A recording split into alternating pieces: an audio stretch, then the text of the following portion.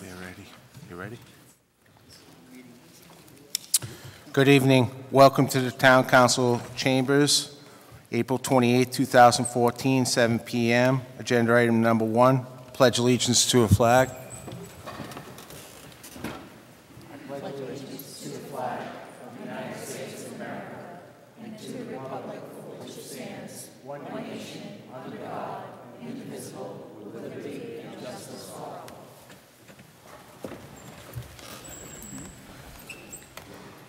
Thank you. Agenda item number two, roll call, please. Councilor Carrasco? Present.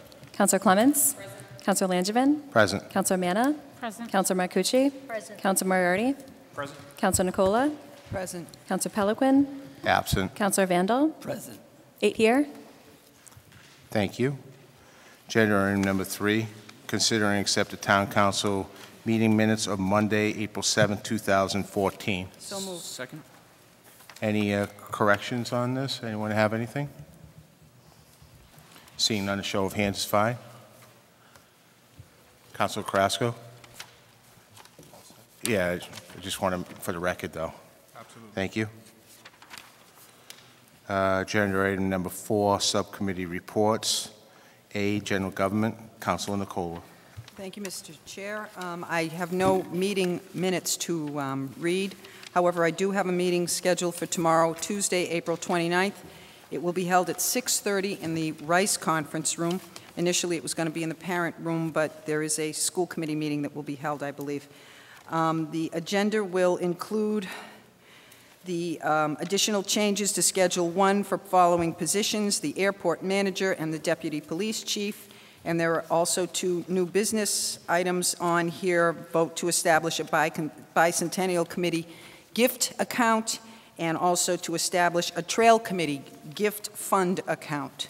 So that will be tomorrow evening. That's all I have. Thank you. Thank you, Councilor. B, DPW, Councilor Vandal. Mr. Chairman, I have two reports to report. Uh, For the subcommittee on April 9, 2014, 7 p.m., attending myself, Councilor Car- Car- Carrasco, citizen members Mark Mo- Moran, acting town manager Reed, acting DPW director Heather Blakely, finance director Karen Harnois, Councilor Manna, Langevin, Clemens, and Moriarty, wastewater treatment plant manager Paul Krasneski, and citizen uh, Rich- Richmond Clements and Roger and Estelle Cowett. Chairman called the meeting to order at 7 p.m. Uh, Agenda item number one, vote to commence the process to accept as a public road the subdivision known as Servant Way and to submit to council for ratification. Motion made and seconded to accept. Acting DPW Director said this is first step in a multi-step process. Council Clemens asked if all required items were completed. They are still some draining issues, but they are being worked on. Motion to approve, vote by show of hands, all in favor, three to zero. Agenda item number two, review and vote to approve FY 2015 Department of Public Works budget. A motion was made by Councilor Carrasco and seconded by citizen member Moran. Uh, Questions and discussion. Increase for all employee, increases for all employees are 2%. Most contract increases and step increases. Ms. Blakely's license still in process and is held up at federal level. Chief of Engineering position still open. CE is needed, but now we use the money for outside contracting if needed. Operations Manager, making this a salary position. Longevity should be done away with, grandfather in, but not for new hires. Compromise might be for non-union uh, supervisors not to receive increases, not just DPW, but all department heads. Suggested cutting back Ms. Blakely's salary to, by 2% until license comes through. Con- Concern how, concern how committee will perceive increases due to increase in taxes.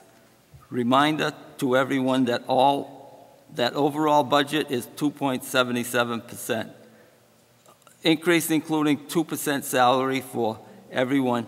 Ms. Harnois is asked to present spreadsheet showing cost savings. If 2% was backed out of the budget, she, she will. Uh, Motion made to approve, vote by show of hands, all in favor, three to nothing. Agenda item number three, review and vote to approve FY 2015 snow and ice budget. A motion was made by Councilor Carrasco and seconded by citizen member Moran. Questions and discussion. Overtime was high. Suggested to Councilor Vandal to have subcommittee meet to look at adopting a new policy for snow and ice centering around restructuring. Purchase of services included outside contractors. It does as well as, it does as well as materials and repairs. She would like to know how much money was paid out for co- contractors that town could not provide with overtime. Mrs. Blakely to provide numbers. Motion made to approve. Vote by show of hands, three to nothing.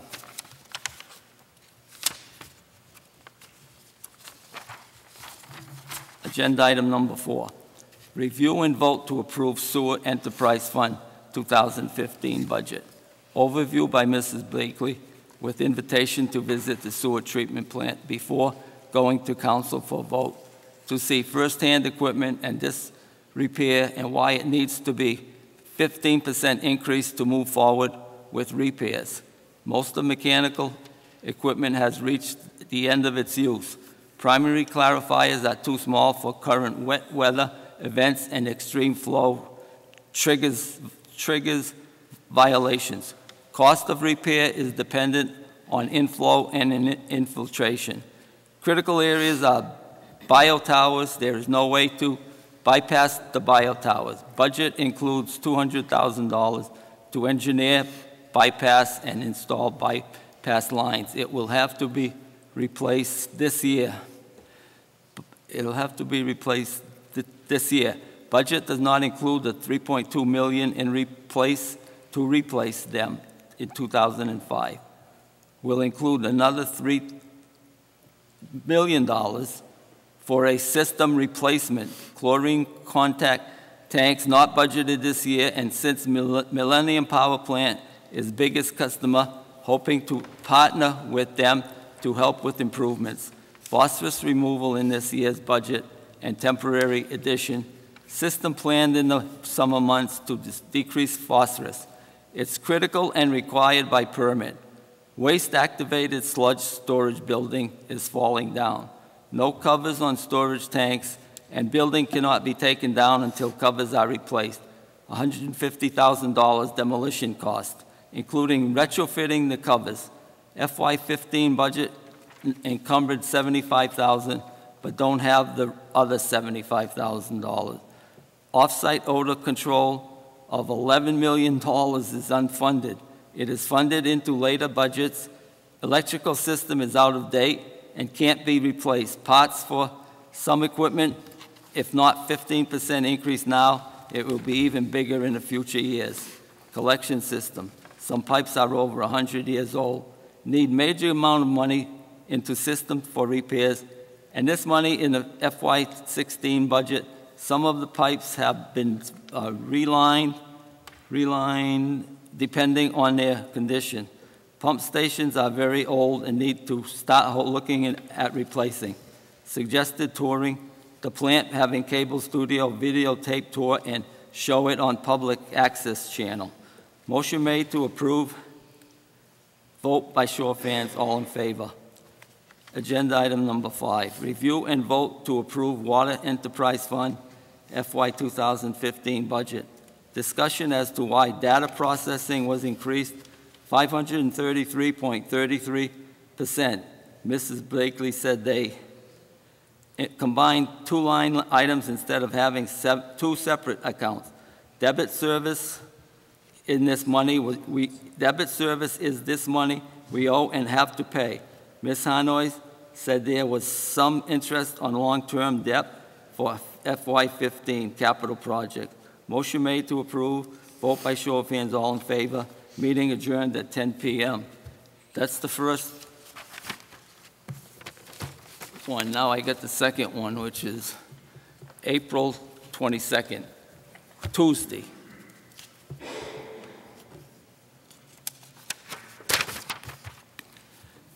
Uh, Department of Public Works meeting on Tuesday, April 22nd. A meeting of the DPW subcommittee was held on Tuesday, April 22nd, 2014, in the Rice Conference Room in attendance were myself, Councilor Carrasco, Subcommittee Member Mark Moran, also in attendance were Councilor Moriarty, Councilor Nicola, Town Manager Robert Reed, Heather Blakely, and Karen Harnois. Councilor Peliquin and Steve Lazo were absent. I call the meeting to order at 6 p.m. Agenda item number one. Vote to approve a one-time contract between Mass DOT Highway Division District Office and the Town of Southbridge, allowing the Town of Southbridge to draw down $72,821 for the reimbursement of specific purpose road and road facility repairs resulting from this harsh winter, and to submit to council for ratification. Ms. Blakely said the state had decided to release more money for road repairs. This is time-sensitive, and she is asking for authorization for the town manager to sign the documents. Councilor Nicola asked what's the Woodstock Road construction was res- responsibility or the state, and she has gotten a call about not having any streetlights. Ms. Blakely said this road is our responsibility and we will look at it. Councilor Carrasco asked about Gulfwood Road and the needed repairs beyond the school.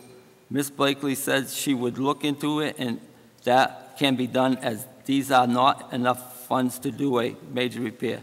Ms. Blakely said there will be, they will be targeted areas that will be patched and or grinded. Ms. Blakely collected suggested areas for repair from various subcommittee meetings. Members, a motion was made by Councilor Carrasco and seconded by Mark Moran with a favorable recommendation to council to approve the one-time contract with MassDOT Highway Division District Office, allowing the town to draw down $72,821 for the reimbursement of specific purpose road and facility repairs. Vote by show of hands, all in favor, three to nothing. The motion to adjourn was uh, made, a motion to adjourn was made by Councilor Carrasco and seconded by Mark Moran. Vote by show of hands, all in favor, three to nothing. Meeting adjourned 6:10 PM. Respectfully submitted, Evelyn Rivera, recording clerk. That's all I have, Mr. Chairman. Thank you. Thank you, Counselor. Uh, Just for public reference to uh, uh, Counselor Vandal, actually, the first meeting um, was, a- it was a three-hour meeting going over the DPW's budget, water, sewer, and stuff. So he summarized this. Right. Uh, There is a lot of other information. If anyone's interested, they can g- receive this and look at it in the town clerk's office. But I want people to understand that he, it's three pages, uh, so he just gave a quick overview of everything. But if you're interested, uh, you can go down to town's clerk's office and, and look at this. Thank you for bringing that out. Thank you. Certainly. Council Mann, yes? Thank you, Mr. Chair, through you. Um, In regards to the April 9th DPW meeting, on here is not the absent counselor or the citizens member, so it should reflect that absent was Counselor Peliquin and citizen member Steve Lazo also. Thank you, Council. Council Carrasco. Also, um, eh, the motion to adjourn was actually made by citizen member Moran, not Councilor Manna, because she's not on that subcommittee. Thank you, Counselor. You have those changes, Stace? I do, thank you. Thank you very much. Any other questions? Thank you. Moving on to C, Education and Human Services, Councilor Marcucci. Thank you, Mr. Chair. In the spirit of your statement, uh, the first meeting for EHS, it is uh, six pages long, so I will try to summarize it, so at least you can get, you know, some of the stuff that happened in the meeting, and as Mr. Chairman said, it is available. A meeting of the Education and Human Services Subcommittee was held on Thursday, April 3rd, in the George Parent Community Room. In attendance were myself, Councilor Manna, Clemens, Moriarty, Councilor Langevin, Acting Town Manager Robert Reed, Citizen Member Leanne Pate, and Martina Shea. Library Director Margaret Morrissey, Recreation Director Ronald Pluff, Michael Trombley, Veterans Agent, Council on Aging, Recreation Department Andrew Pelletier, Board of Health, Finance Director Karen Harnois, and Citizen Member, uh, Citizen, I'm sorry, Kevin Buxton. Agenda item number one was to review and approve the fiscal 2015 library budget. Discussion was held, uh, Counselor Clements asked about a, about the 2.6% increase in salaries and wages. Mrs. Morrissey said this includes the personnel steps, the adult service librarian gets a step, and the children's librarian gets a step as well. Counselor Clements asked why the library's water and sewer bill would be so high. Ms. Morrissey stated that she is very mindful of that. There was a new toilet installed in the staff area that uses less water, and the other toilets are actually 10, are actually new, 10 to 12 years ago. But there are a lot of parts that need to be replaced on the toilets all the time, and there was 8,000 to 10,000 visitors of the library each month. Ms. Morrissey said the budget figure is reflective of a 10% increase in sewer and a 3% increase in water. Councilor Clemens also asked about the maintenance repairs. Ms. Morrissey stated that with funding of $90,000 voted two years ago, they are looking at quotes for the ceiling, the retaining wall, and the parking area, and most likely it will just be the ceiling as the interior and the retaining wall is being repaired in this round. The retaining wall and the ceilings have been long-term issues. The ceiling was an issue prior to the library in 2000. Ms. Morrissey felt that she was in a position to present a plan and that she feels confident and will work. And she's also working with the DPW director and the inspections department. Finance Director Karen Harnois said the bottom line budget of $496,649 does meet the municipal annual requirement for the town to get grants from the state aid to the library, and $15,000 of the grant is being used to offset the budget. She also said the increases in the budget is a modest 0.83%. A motion was made by Councilor Manna, seconded by Citizen Member Shea to approve the fiscal 2015 library budget of $496,649. It um, passed 5-0. Agenda item number two, review and approve the fiscal 2015 Health Department budget. Councilor, um, a motion was made by Councilor Manna, seconded by Councilor Clements. Board of Health Director Pelletier discussed the budget pertaining to salaries. It wasn't quite a 2% increase across the board because it reflects that Mr. Moran was making more than he was. Raises of less than 2% would be expected. Chairwoman Marcucci asked Mr. Pelletier to explain the curbside monitor, as this is a, a new position that he would like to see. Mr. Pelletier is proposing a 19-hour per week position. He would like it to be an employee position. He would like to get someone strictly dedicated to curbside monitoring, curbside education, and curbside enforcement. He'd like to bring back the tickets, and in doing so, hopefully gets trash contained and encourages the citizens for more recycling. He envisions that they can use the $72,000 that Casella gives them for the recycle bank. He said the money wouldn't be coming out of the town's general fund. Mr. Pelletier said they have been following law and placing the responsibility of the extra bags of trash on the owner. They would like to delve a little deeper and find out who actually put the bags out there, and that would mean ripping open bags and knocking on doors and trying to assign responsibility to the actual tenant who put the bags out. He hopes that by educating people, it will show them that better recycling habits will help keep their taxes down. This position will enforce the trash laws and containment laws and try to guide a person's responsibility. He would like to take that person and make him the supervisor of the part-time curbside monitor, so he is still overseeing curbside pickup, but put him in on a in, sorry, put him on innovative programs and increase the recycling. There are a lot of opportunities out there if they could get in touch with commercial partners such as Abishan, who sells fluorescent bulbs.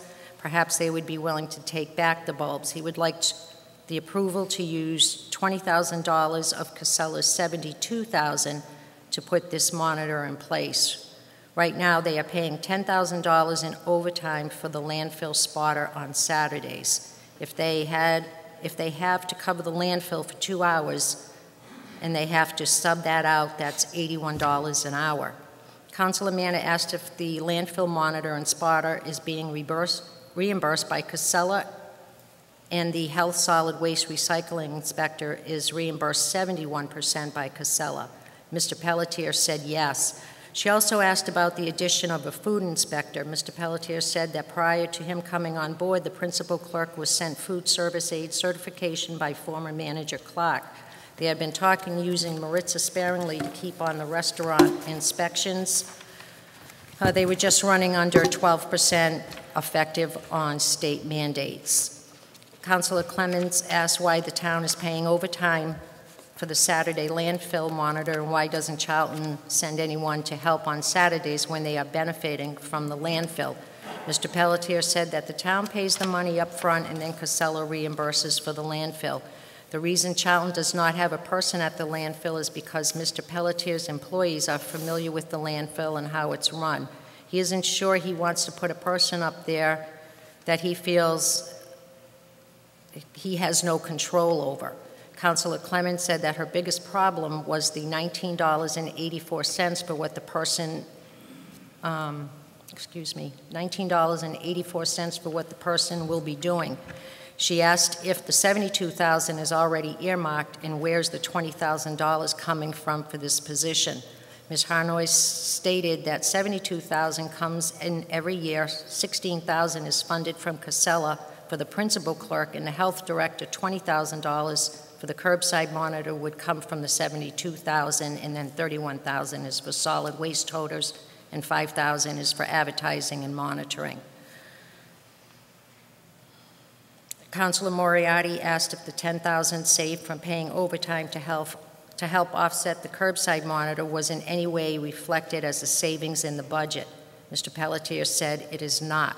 If they continue to pay overtime for the landfill monitor, the town will get reimbursed, but the town still needs to upfront the money.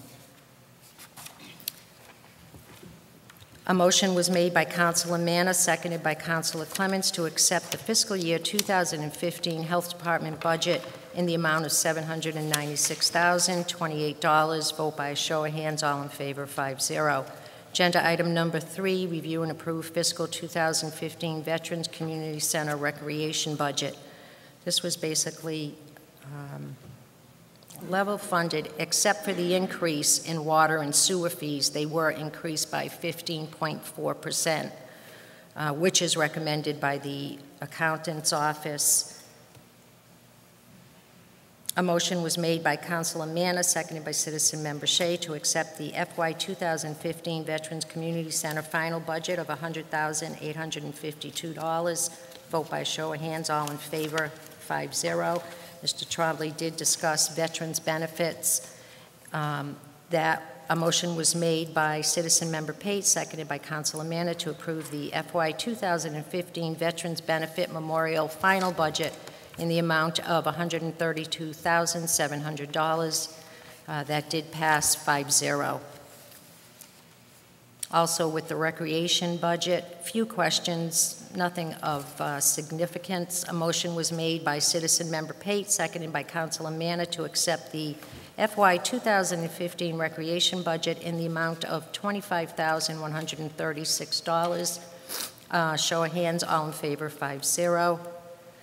Agenda item number four, discuss funding and payment of the February, and this is just the February, school unemployment invoice in the amount of $17,898.39. Motion was made by Councilor Manna, seconded by Citizen Member Pate. Finance Director Harnois stated they are no longer, there are, there are longer funds, to, there are no longer funds to pay the bills.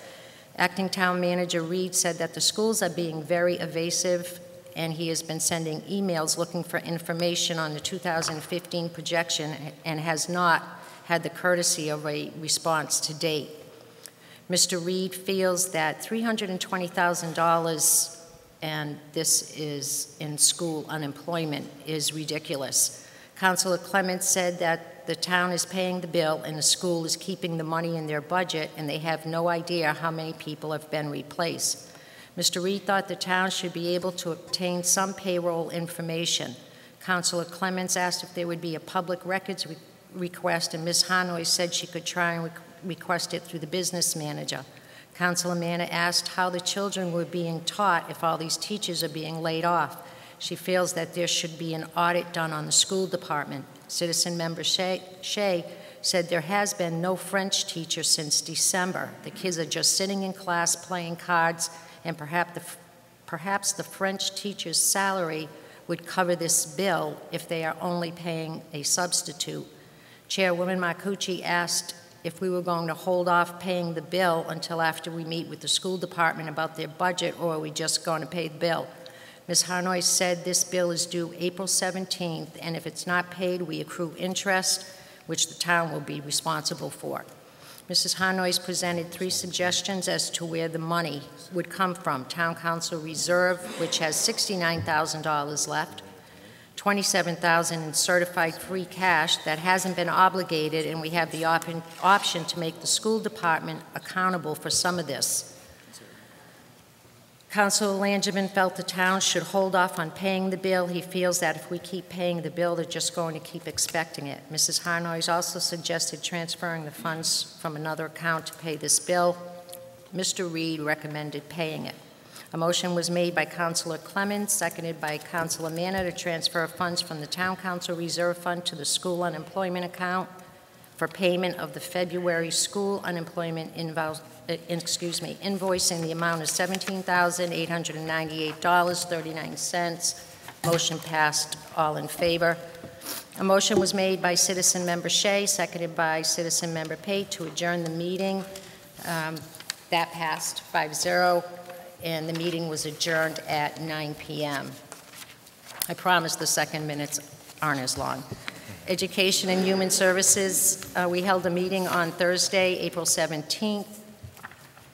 In attendance were myself, Manna, Councilor Clemens, Citizen Member Leanne Pate, Martina Shea. Also in attendance were Councilor Nicola, Councilor Carrasco, Town Manager Bob Reed, Karen Harnois, John LaFleche, Dean Yacabucci, Michael Langevin, Buzz Nimbricott, Aaron Quinney, Kara Donovan, Krista, Christopher Olivio, Walter Schlotz, Patricia Gardner, Karen Sheridan, Colleen Culligan, Brent Abramson, and Mike Murray.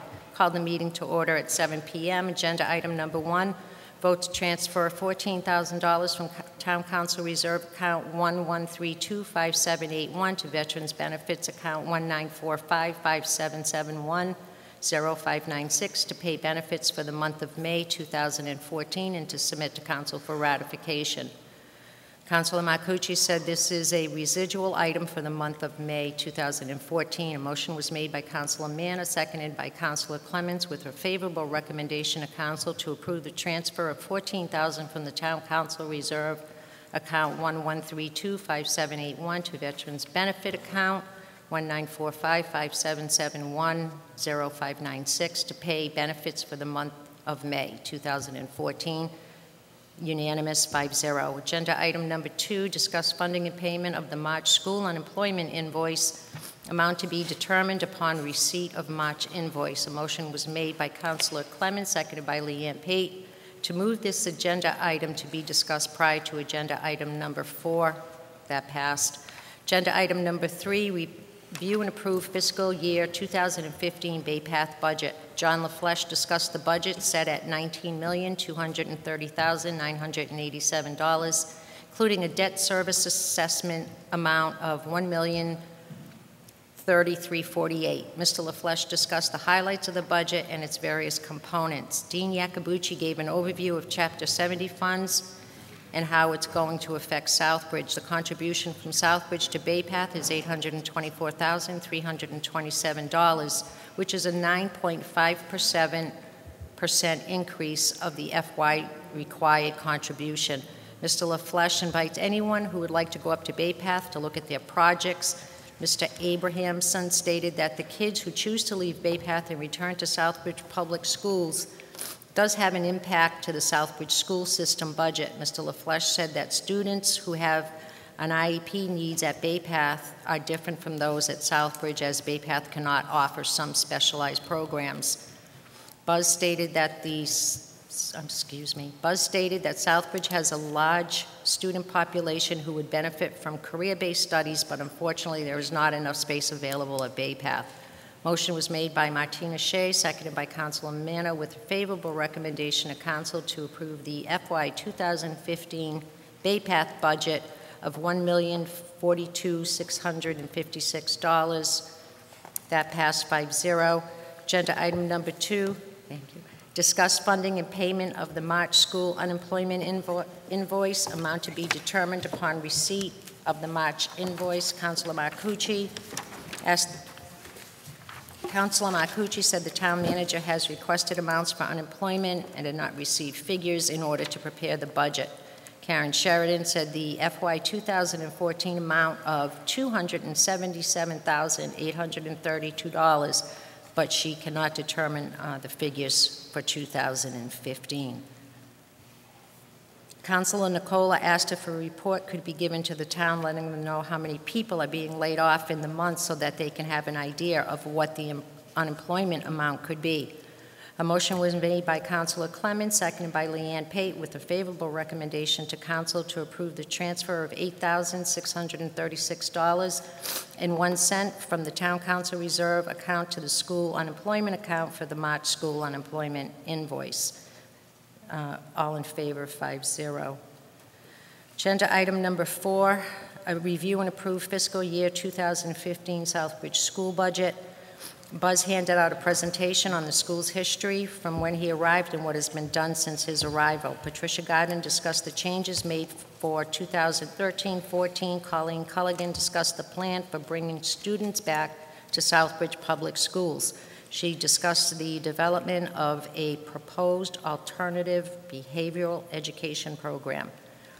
Walter Slozak spoke on, spoke on the transportation costs with potential cost savings of $56,612.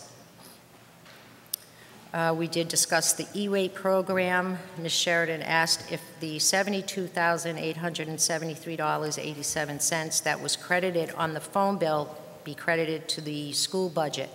Mrs. Harnois said she would look into it and speak with Ms. Sheridan. The school budget is looking for a total budget of $26,282, I'm sorry, $26,282,197, which is a 6.7% increase.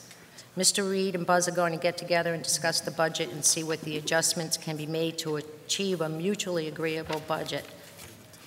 Councilor Marcucci asked that everyone be very mindful uh, to cuts in their budget to help the town with the overall budget. A motion was made by Councilor Manna, seconded by Leanne Pate, with a favorable recommendation to council to approve the FY 2015 school budget in the amount of $25,123,485. Uh, All in favor? And we, Councilor Clements made a motion to adjourn, seconded by Councilor Manna. Meeting adjourned at 10:55 PM. Respectfully submitted, Evelyn Rivera, Recording Clerk. And, Mr. Chairman, I am going to schedule another meeting with the school department. Um, There's been an interest by counselors. We do line items on the town side, and counselors are concerned there's some significant increases, six and 700% increases that we see in the line items. So I'm going to schedule another meeting in the near future so we can review that. Thank you. Thank you, Counselor. Counselor Clemens? Thank you. On that school budget vote, it was not on all in favor, five zero. That's right. It was actually a three-two. It was myself and Martina Shea who That's did right. not vote to recommend. Yes. Could Just you make wanted that that correction, Stacy? It was not unanimous. Right. It was. It was late. Four hours was a long Yeah. meeting, and Yes. uh, there was a lot discussed, a lot more I'm than... sorry about that. I should have remembered that. Oh, no, that's okay. Thank you. All set, Counselor? Yes. Counselor Manna? I think um, Council Moriarty was before me, so I'll let him go. Okay. Counselor Moriarty? Just- Thank you. Just a real quick one. Uh, On that first page, the uh, last full paragraph, the fourth word of the fourth sentence, that acronym should actually be IEP, not IAP. Uh, I just wanted to correct that. Right. Okay. All set, Counselor? Yes, thank you. Counselor Manna?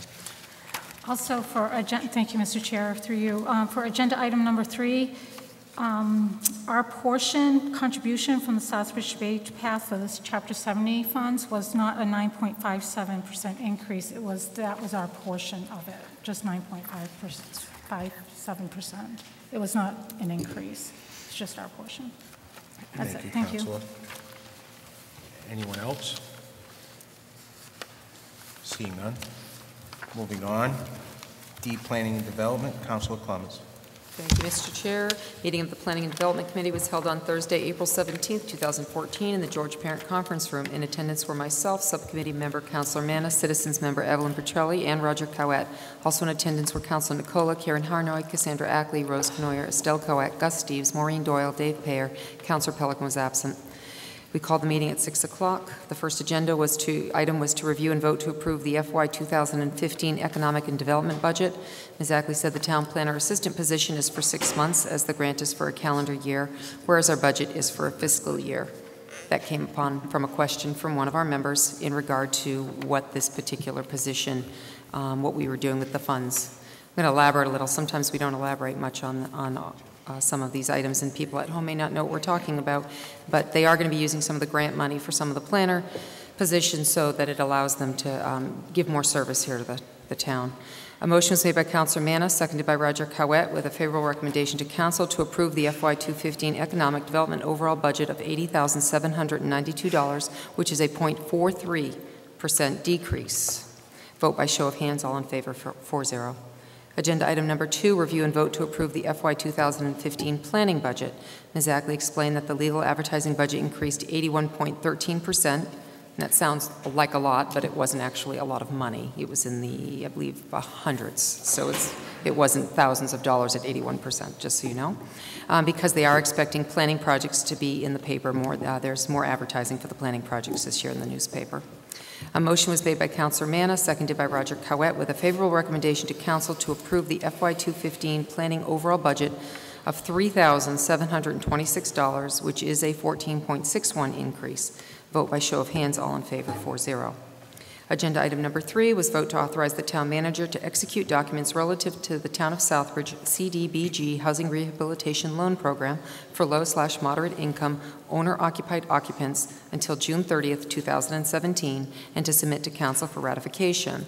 This is the same authorization given to the manager every year to sign the CDBG-related loan program documents. There's a number of areas that are considered uh, confidential, and so the town manager acts on the town's behalf in that, in those instances.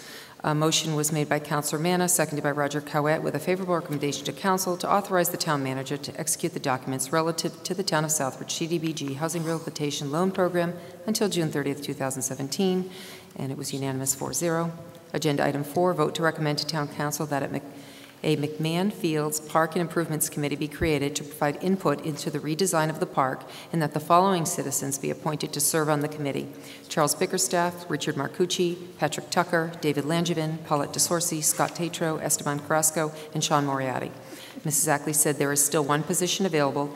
It's not a permanent committee, and um, they will just be acting to uh, get input and such for the redesign of the park, which should be really great if we can make that happen. Um, A motion was made by Councilor Manna and seconded by Roger Cowett with a favorable recommendation to council to approve the creation of the McCann Fields and Parks Improvement Committee and approve the appointments of Charles Bickerstaff, Richard Marcucci, Patrick Tucker, David Langevin, Paulette DeSorsi, Scott Tatro, Esteban Carrasco Jr., Sean Moriarty as committee members. It was unanimous 4-0. Agenda item five, review of the current CDBG projects. Mrs. Ackley said they were doing less projects this year. They will need another meeting to discuss and approve the various projects.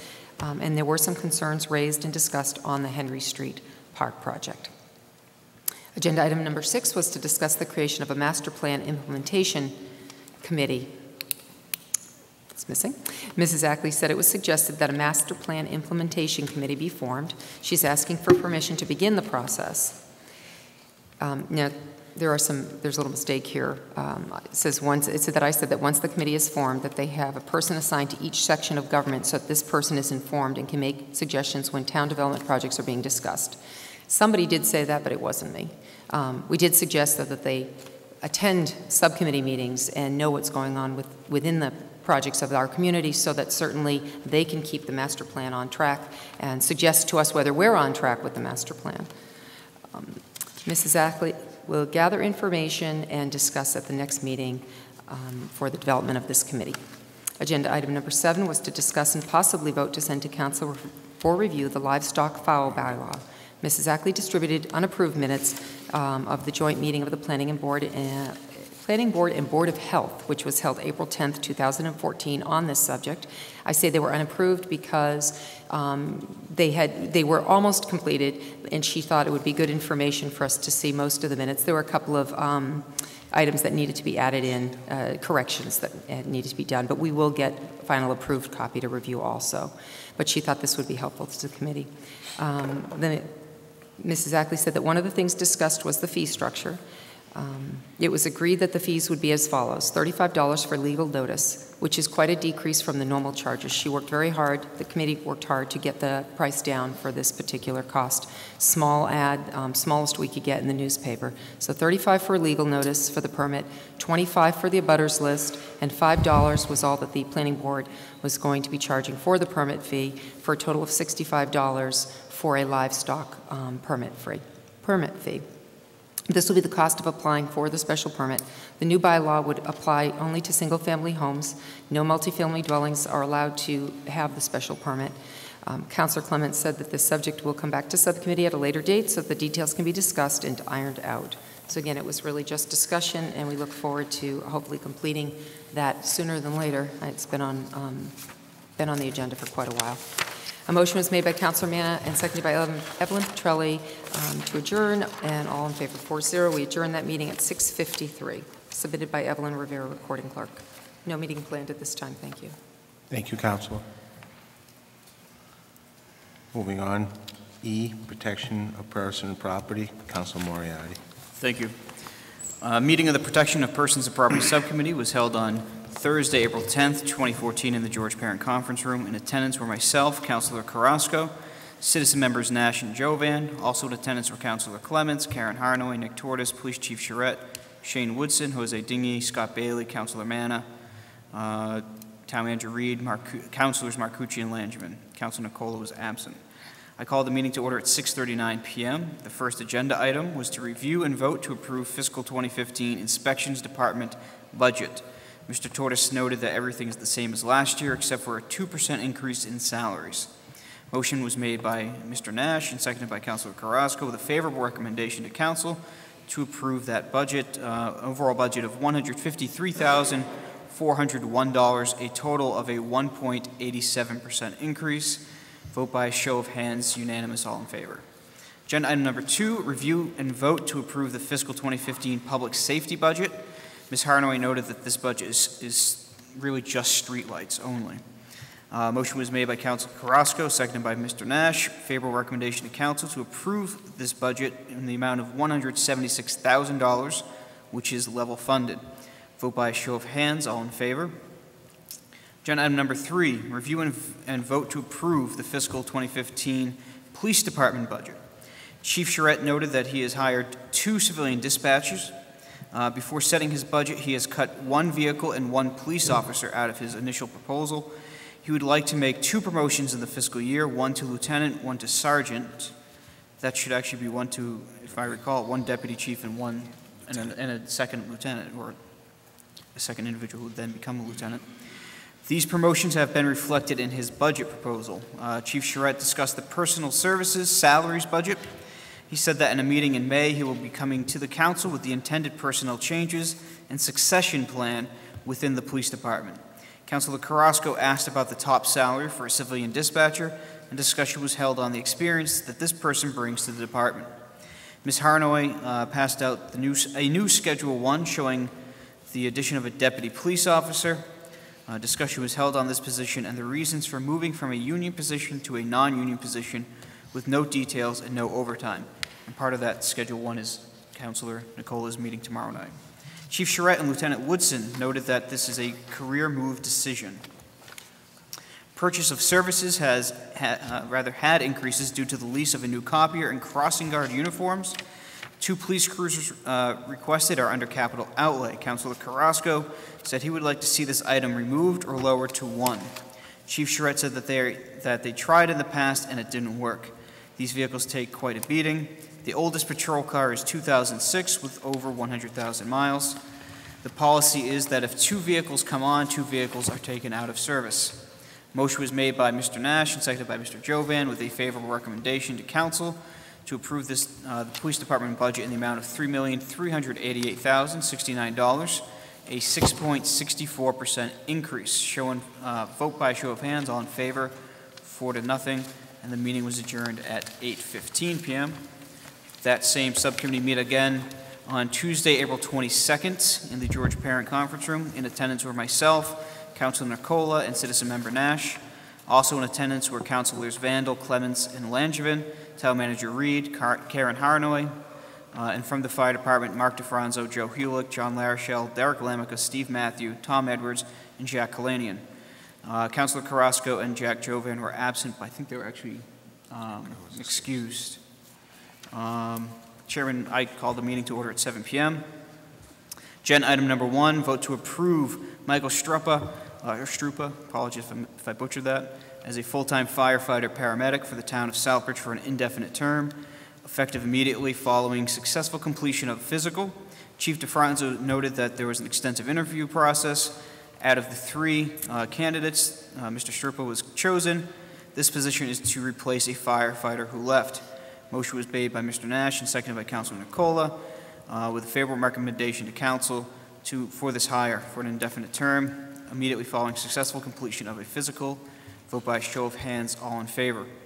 Agenda item number two, vote to award the bid to Spartan ERV for the purchase of a triple combination pumper truck in the amount of $381,924.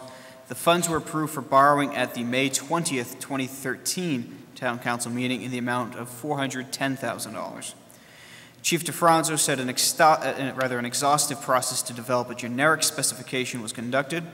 Four bids were sent out, and only two were returned. Spartan ERV was chosen.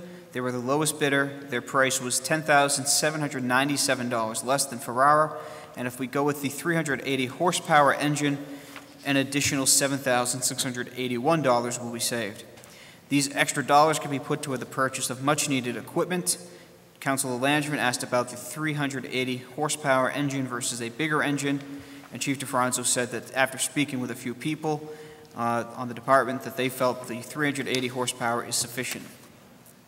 Motion was made by Mr. Nash and seconded by Councilor Nicola with a favorable recommendation to council to award the bid to Spartan ERV for this triple combination pumper in the amount of $381,924. Vote by show of hands, all in favor. Agenda item number three, review and vote to approve the fiscal 2015 fire department budget. Uh, I went through each section of the budget uh, and included in the highlights, the bullet points here, personal services, uh, $2,107,000, 400, oh, sorry, $2,107,498, an increase of 3.13%. Purchase of services, $65,850, an increase of 1.14%. Supplies, $61,500, an increase of 1.65%. Intergovernmental is $28,000, an increase of 27.27%. Chief DeFranzo noted that the increase is due to the emergency notification system contract. Uh, There was no cost for the first year, but we pick up cost for the next two years, and then there would be no cost going forward after that. Other charges is $4,700, an increase of, I assume the typo should say 6.82%.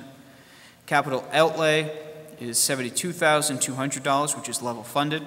Chief DeFranzo said he was able to get a grant for the portable radio and pager replacements so that this was deleted from his current budget. Councilor Nicola asked about generators for high-risk facilities. Chief DeFranzo said that uh, the fire department has worked with Harrington Hospital as well as Southbridge Rehabilitation, and that they now have their own generators. The fire department does have a few generators available to aid facilities if needed. Motion was made by Councilor Nicola, seconded by Mr. Nash, with a favorable recommendation to council to approve the fiscal 15 fire department budget in the amount of $2,290,723, which is a 3.17% increase, and that was voted on by show of hands unanimously. That meeting was adjourned at 7:30 PM, and there is currently no meeting scheduled, but we will have one within the next few weeks. Thank you. Thank you, Councilor. Councilor Manna. Thank you, Mr. Chair, through you. Just um, on the April 10th meeting minutes, if you could just note on there that I arrived at seven. I wasn't there for the full meeting.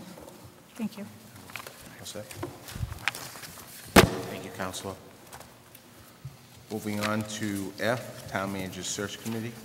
Counselor Marcucci. Thank you, Mr. Chair. No report.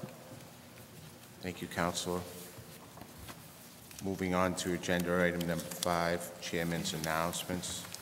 I have just a few this evening, really brief. Uh, Again, hopefully the weather is going to be breaking very shortly, uh, warm temperatures and stuff like that, so I would ask the police department to uh, start with the uh, noise, noise again in our community, windows, music cranked up and stuff like that. So if you do, citizens ha- have any problems, please reach out to the Southbridge Police Department. Also, uh, increase in speeding, um, our traffic and stuff like that, so I would ask the Southbridge Police Department, I will reach out definitely with the chief and talk about uh, doing radar, especially on the side streets. I notice a lot of people avoid Main Street because of traffic congestions, and uh, that's where the speed on the side streets pick up. So I would ask them to uh, start clamping on that. And last but not least, really, um, I just want to thank all the counselors. Uh, As you can see, we spent probably about 40 minutes just reading subcommittee meeting minutes. Uh, A lot of time goes into it, a lot of tough decisions ahead of us. Um, But I got to say, uh, uh, this sitting group right here, there was a lot of great questions and answers and stuff like that during the budget process, and, and I, I really do feel we, we've done our due diligence, and we, quite frankly, have a lot of uh, not easy decisions to make, but I want to thank all of you personally for putting your time in and asking a lot of great questions. Um, Moving on to agenda item number six, the town manager's announcements. Karen Harnois is filling in for Mr. Reed. Thank you. I just have one announcement. The Jacob Edwards Library is holding a centennial reception on May 1st from 4 to 6 p.m. The Jacob Edwards Library Board of Trustees invites you to join us in officially kicking off the year-long celebration of the library's 100th anniversary. And there'll be a book launch and light refreshments and fun. And again, that's on May 1st from 4 to 6 at the library. Thank you. Thank you. Moving on to agenda item number seven, swearing in and presentation. Uh, We have one this evening, donate life flag presentation by Robin Latoy, the Team New England co-manager. I would ask her to meet me over there, please.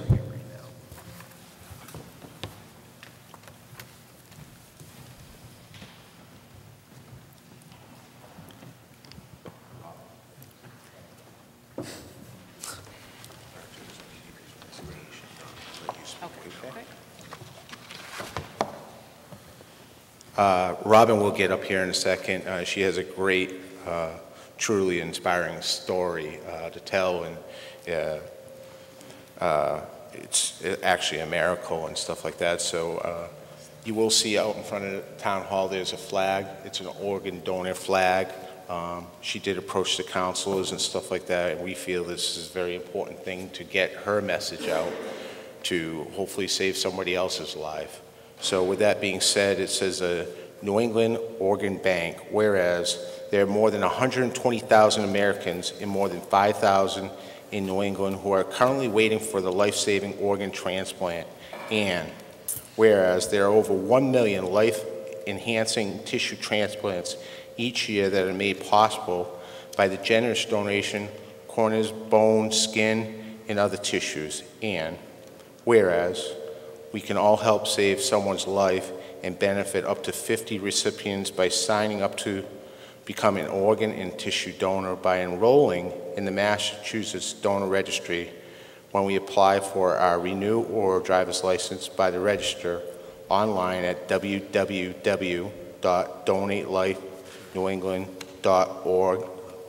And whereas New England is the home of the pioneering efforts of many of the world's first organ, organ excuse me, transplant surgeons.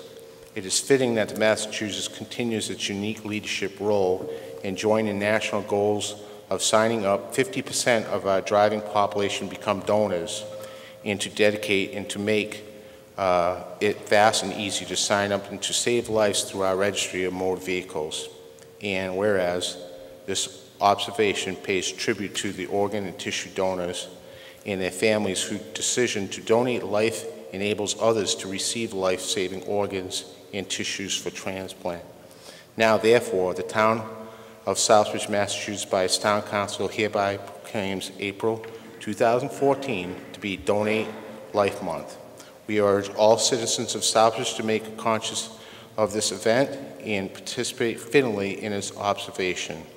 Signed by me, David S. Langevin, Chairman, and also the acting town manager, Robert Reed. I would ask Robin to accept this on behalf of the council in the town of Southbridge, and I would love you to share some of your story to educate the public. And thank you very much. thank you very much.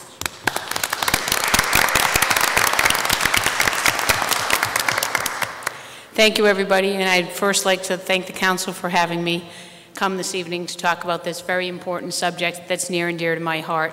I was, um, I was born and raised here in Southbridge, Massachusetts, and I had a kidney transplant on January 3rd, 2010. I just celebrated my four-year transplant anniversary. Before transplant, I was on dialysis for seven and a half years, being a swim instructor at the local YMCA, leading an active life, and denying how sick I really was. Seven and a half years into dialysis, I became quite sick with fluid building up around my heart. I ended up with congestive heart failure in 2009. I was told that I needed a transplant or the time would be too late for me if I didn't get a transplant immediately. Two months after that, I received the call at midnight on January 2nd, 2010. That call changed my life. I live life to the fullest every day, trying to promote organ donation as much as I can. I currently am involved in taking part in the transplant games, which happen every year. Every other year, it's in a uh, country. In 2010, I was seven months out of transplant. I was able to, because of my blood work and because my health being so well, I was able to participate in the first transplant games in Madison, Wisconsin. 2011, I was an athlete on Team USA, the only one from New England, to compete in the World Transplant Games in Sweden, where you have ages six years old to 80 years old, all with organ transplants, celebrating just like the real Olympics in events basketball, badminton, ping pong, swimming, as well as many other events that the real Olympics do. In 2012, I was on Team Northeast, and I participated in the Transplant Games of America in Grand Rapids, Michigan. This past summer, I attend, attended the World Transplant Games again in South Africa. 51 countries again, ages six years old to 80 years old, being alive, honoring our donor, and receiving the special gift that we've received, and sharing stories with each other. These games are very inspirational and emotional at the same time as athletes go, as well as donor family members who have not met the recipients. Some have, they honor their loved ones by going to the transplant games, hearing and sharing stories. They come up to us as athletes and thank us for being athletic and for being able to be alive and taking care of ourselves with their loved ones' organs. Also, we thank them because without that person checking that box off at the Registry of Motor Vehicles, I would not be here today to be able to be talking to all of you. It only takes a few seconds at the registry to check off that yes box. Some people have their own personal beliefs. I'm not standing here and saying that I, I know that all of you, I would like all of you to do it, but I understand everybody's personal beliefs. One person can save 52 different parts of their body to go to the people that are suffering. I received a transplant of a kidney. The major organs are also being able to be living donors, some of your major organs. You can do this by calling up your local hospital saying, I want to give a kidney, I have nobody that needs one, I want to give a part of my liver, I want to give a part of my lung, and you can all give those things as being live. You don't have to be deceased. Those organs can then be what's called an organ chain. If you here in Southbridge want to be a donor, you call up UMass and Worcester or Tufts, the leading hospitals. They'll take that organ from you as a living donor. They'll send it to wherever it's a match. It could be a match in Maine, it could be a match in California. A person gives in California, and it just makes a complete circle. And it ends up saving sometimes four or five different people in what they call as a chain donation. All of you that aren't registered at the RMV, what you can do is, again, like Mr. Langevin said, you can register on www.donatelifenewengland.org, and it's a very simple process. And I'm here today to get as many people up at the registry or on that site to become organ donors. So again, you can see this miracle that's happened to me by please taking a moment, sharing my story, registering if you've never ro- registered before. Maybe I've inspired some of you by coming here tonight. And I would just like, again, to thank everybody for having me, and it's a pleasure in the town I grew up up in to be able to do this here in Southbridge. Thank you very much.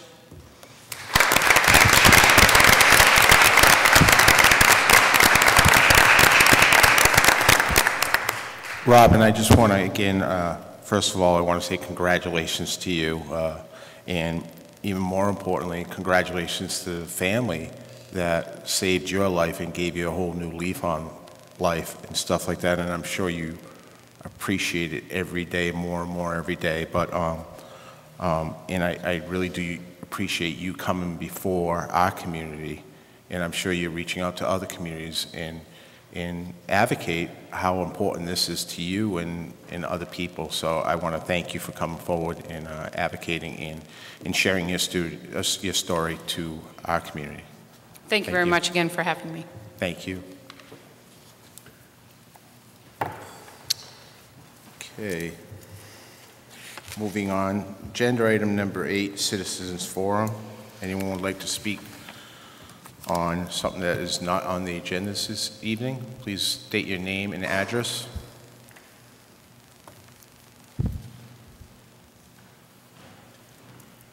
Good evening. Good evening. My name is Michael Dupuy. I live at 38 Laurel Hill Road. I am also chairperson for the Southbridge Fest Committee Parade, and I'm here to invite the councilors to participate in our Southbridge Fest Parade on May 31st. Um, Anybody else in the public who wants to participate, you can reach us through Facebook at Southbridge Fest, and we'll be willing to have anybody from town that wants to participate in this parade. Thank you very much. Thank you. Um, Ms. Harnois, can you uh, make sure we get that on the cable access scroll too and and start promoting um, the downtown uh, fest and stuff like that so we can educate the public? Okay. Councilman, do you have a question? Yes, thank you, Mr. Chair, through you. I just have a question for Mr. I- I- Dupree, I'm sorry, yeah. Du- Dupree. Yep.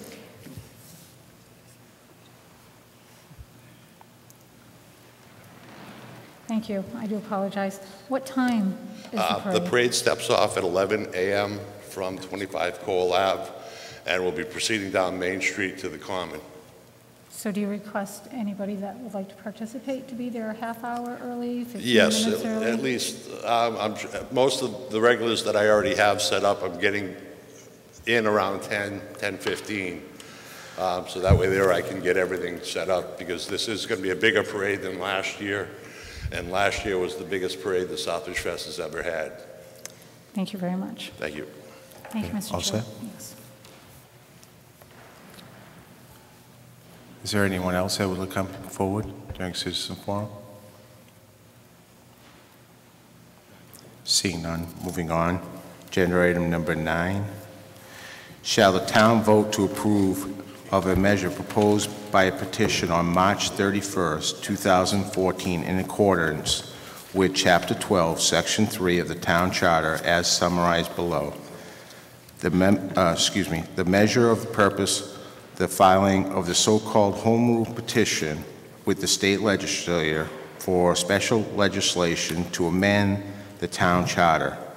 If approved by the voters at this election, the proposed legislation would take effect upon enactment by the state legis- legislator. The purpose legislation seeks to reestablish an open town meeting Board of Selectmen Town Administrative form of government. As, as in an effort prior to, 2000 uh, excuse me, March 2nd, 1973, under the general laws, special acts, and bylaws of the town of Southbridge. The legislation would abolish the nine-member town council and the position of town manager. The legislation provides that the process for calling for and holding an open town meeting would be governed by the general laws, special acts applicable to the town, and the town bylaws existing prior to March 2nd, 1973. This legislation would establish a five-member Board of Selectmen, with each selectman serving a term of three years and limited to two consecutive terms of service. The Board of Selectmen would have the power of the town council provided for under the current charter and further would appoint all town officers and employees subject to civil service laws or as otherwise may be provided by the Mass General laws and the charter. A 15-member Finance Committee would be appointed by the town moderator. The legislation would also create the position of town administrator, would serve at the will of the Board of Selectmen and exercise all other powers of the town manager as provided for under the current charter. Any person appointed as the town administrator would be required to qualify as a registered voter of the town within the sixth month of the date of appointment. Do I have a motion? So moved. Second. Discussion on this? Councilor Manna? Thank you, Mr. Chair, through you. I do have some questions for um, Attorney Goldberg, if that's possible. I believe she's here tonight, so she would like to come forward, absolutely.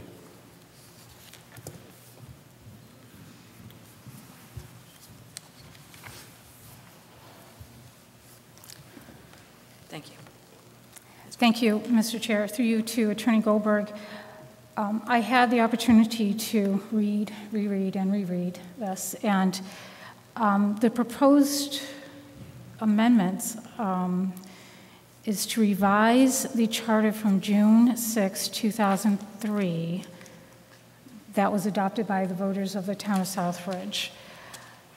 Um, And looking through this, I, I see where there's a number of sections that are going to be repealed. My question was, this charter is no longer in existence, and neither are the sections that they want repealed, as we have a new charter that was voted on in 2013. And I believe there may have also been some amendments between 2003 and 2010. I'm not sure. I didn't have access to get that charter. Um, So I, I- I have a lot of concerns about that. How can we, how can something be voted on if it doesn't exist? Certainly. Thank you. Um, Lauren Goldberg, Kopelman and Paige. Um, Can you, can you, yeah? Yes, Thank thank you you. very much. the proposed, the petition proposes to reestablish the form of town government um, that existed prior to the current town council form of government. As I think I mentioned the last time I was here, but I'd like to reiterate, I, I don't believe that if this petition were rejected by the council tonight, presented to the voters, and then approved by the voters, that the general court would enact the, a special act that looks like the petition um, that's been submitted to the town council. I do believe that it would need to be revised by the, the um, House Counsel and Senate Counsel to actually put forward a piece of legislation that looked like a charter. That is not what this is. Um, And I do think there are several provisions in this um, petition that would need to be um, uh, clarified in order to determine exactly what charter would be the, the charter for the town of Southbridge. Um, That being said, and I, um, I hope I'm not being too, too lengthy here, but what, what the language you have in front of you does is summarize what the petition is saying so that voters can understand what's being proposed. Nevertheless, if this is approved, what goes up to the legislature isn't just the question the certified vote on the question that's presented to the voters, but the actual piece of legislation that the council is being asked to adopt itself. So um, in terms of could you revise a charter that doesn't exist, essentially what the petition proposes is to reestablish a previous version of the town's governance. It's not simply to just revise the current charter by taking out one piece and inserting another. Okay, and I did have another question, but I- I'm not sure if you could answer that, and that is um, the revised bylaws that this wants to go back to um, was adopted June 6, 1956, and was in effect until 1973, until they had the new form of government that was voted on by the town of Southbridge. And in Section 6, Article 3, Section 6, where it says town meetings, 150 registered voters at any town meeting for the transaction of business shall constitute a quorum. I guess my question would be, where did they get that number?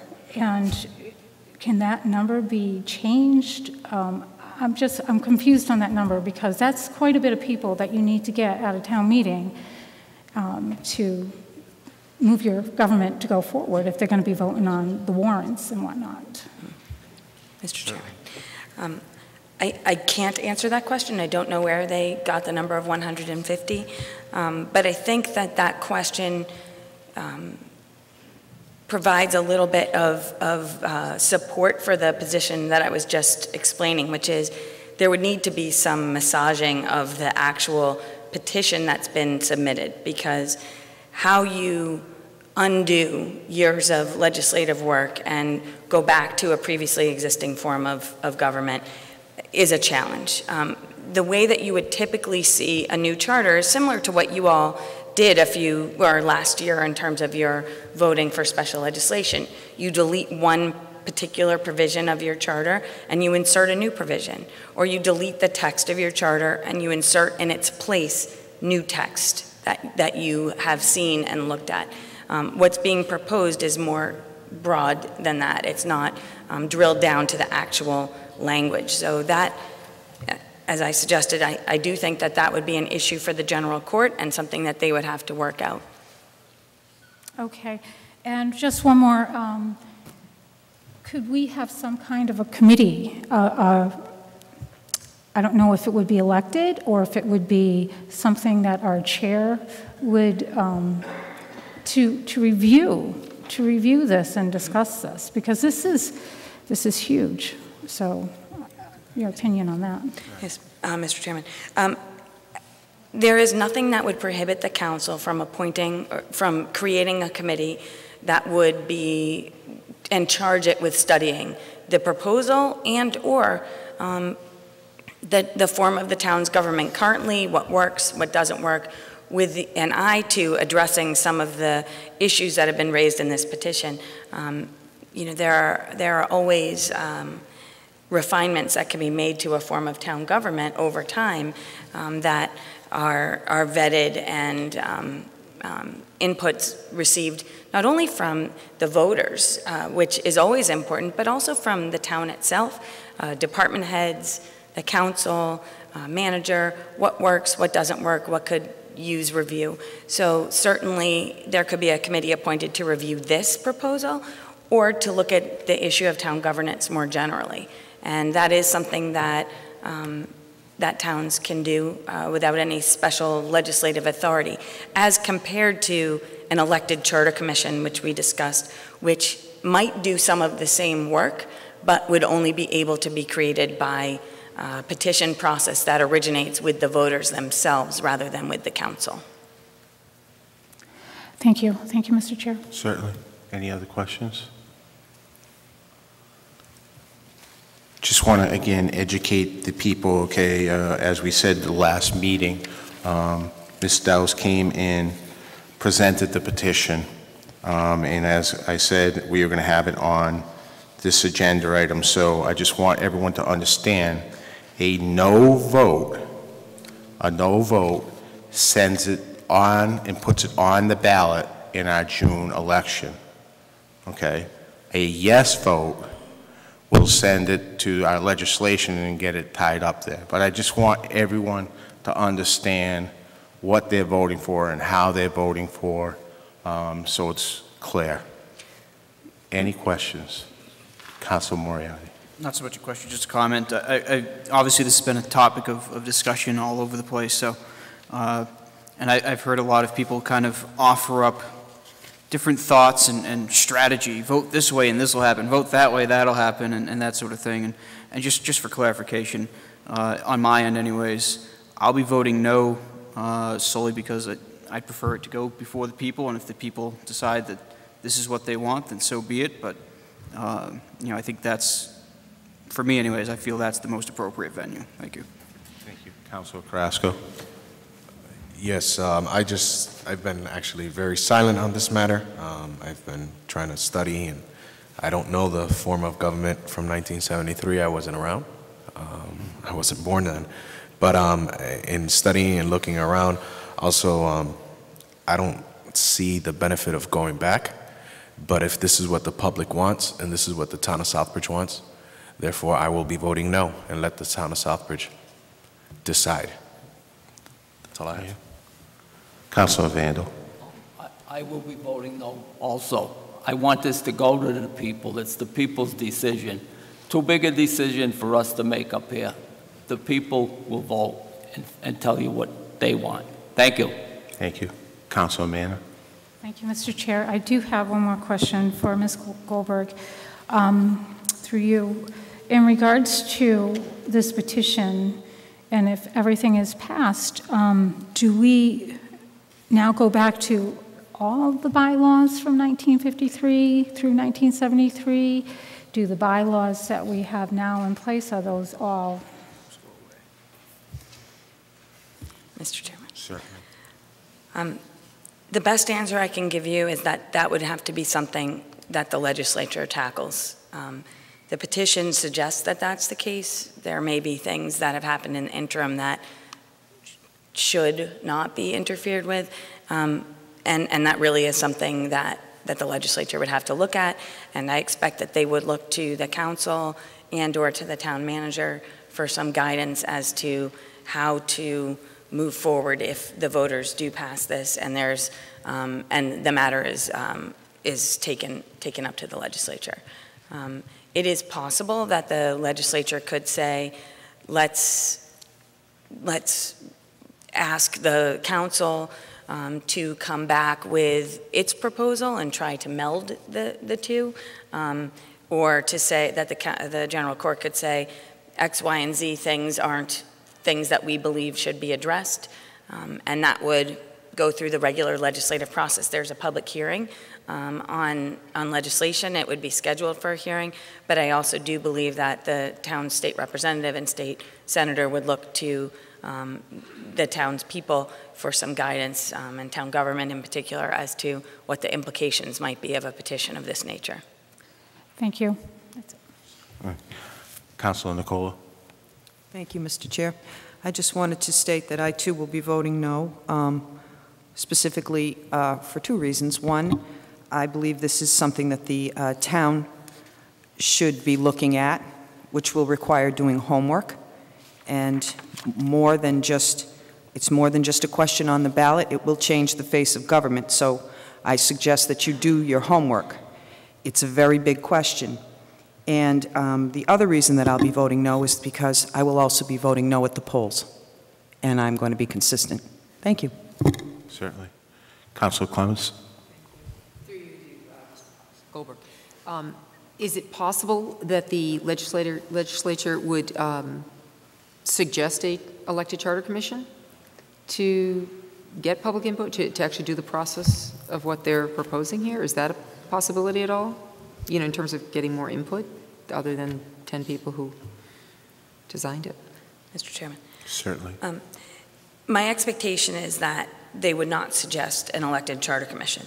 Um, The legislature gets special act charter amendments and charter adoptions um, as part of its work, and that would not be unusual. Um, As I indicated earlier, in my experience, proposals that go up to the legislature are, are more concrete, particularly when they make such a big change uh, to the form of government. Um, In terms of whether they might look for voter input, there would be another way for the legislature to look for voter input, and that would be to request that this um, question, uh, even if the legislature were able to address some of the substantive issues that are in the petition, the legislature might say, we'll pass this, but we're going to make it subject to voter acceptance, so acceptance by the electorate after there's actual um, concrete language changes. Um, In the interim, though, they, they may encourage, um, rather than an elected charter commission, feedback about what this would actually mean. You know, it's hard to, it's hard to predict with accuracy what they might or might not do, but I can see that they might have some questions and issues with how it would be implemented. And one more thing. Um, In your experience with other communities that you're aware of, in terms of the quorum rules, regulations, or how people put things into place, is there some type of formula that is used generally? Is there a percentage or? Mr. Chairman, there's not. Um, In my experience, it can range from zero quorum to 200 voters, um, maybe a certain number of voters for an annual town meeting versus a, a different number for a special town meeting. It's really a matter of local policy. There is no general law that sets a quorum for a town meeting, so it's from town to town, it- it differs. Um, Some towns have a hard time getting a quorum, and so they'll amend their bylaws to reduce the quorum for that reason. Other towns believe it's imperative that you have a certain number of voters appear um, in order to make sure that the voters' will is being carried out, and so they require that higher quorum because they want to encourage voter participation, or a minimum level of voter participation. So it- it's always possible that the representation that seems to be sought here in this petition isn't necessarily going to be representative of the 10,000 or so voters we have here, 11,000 voters. Well, that, again, that's just my opinion. If you're only looking for 50 people or 100 people to show up at a meeting, if they show up, um, I'd like to see more just show up at a subcommittee meeting to- while we're vetting the budget. Thank you. Thank you. Any other questions? Certainly.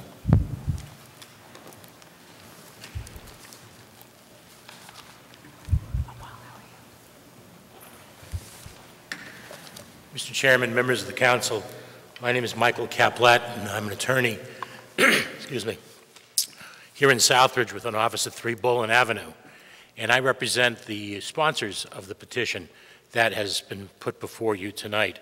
Um, And just to echo what Attorney Goldberg said, the issue for the council tonight is to decide whether or not either, A, to uh, submit this to the legislature by an affirmative vote, I'm sorry. Yeah. Is Mr. Capelet a resident of Southbridge, and if not, should we be voting for him to speak? We, we if I may, I'm not a resident of He's not, Southbridge. he's not a resident of Southbridge, but if. I we believe those are the rules uh, Yeah. from the past, so I just, I want to be consistent with the rules. I don't want to, want- Okay, Motion? Second. Any discussion on this? All in favor? Go ahead, Mr. Caplan. Thank you. The issue is either A, that the town council approves this petition and submits it with its approval to the uh, state legislature. And as Attorney Goldberg pointed out, it won't be just the, the question that goes up, it'll be the whole body of the petition. And the thrust of the petition, she quite rightly points out, is to go back to the town meeting Board of Selectmen uh, form of government that Southbridge had until 1973. And there's no question that there are a myriad of details that would have to be worked out if that was to occur. The other option is to deny the petition, which, quite frankly, sensing the, the will of the council tonight, that seems to be where the council is headed, not trying to predict how you're going to vote, but that is precisely what the sponsors would prefer.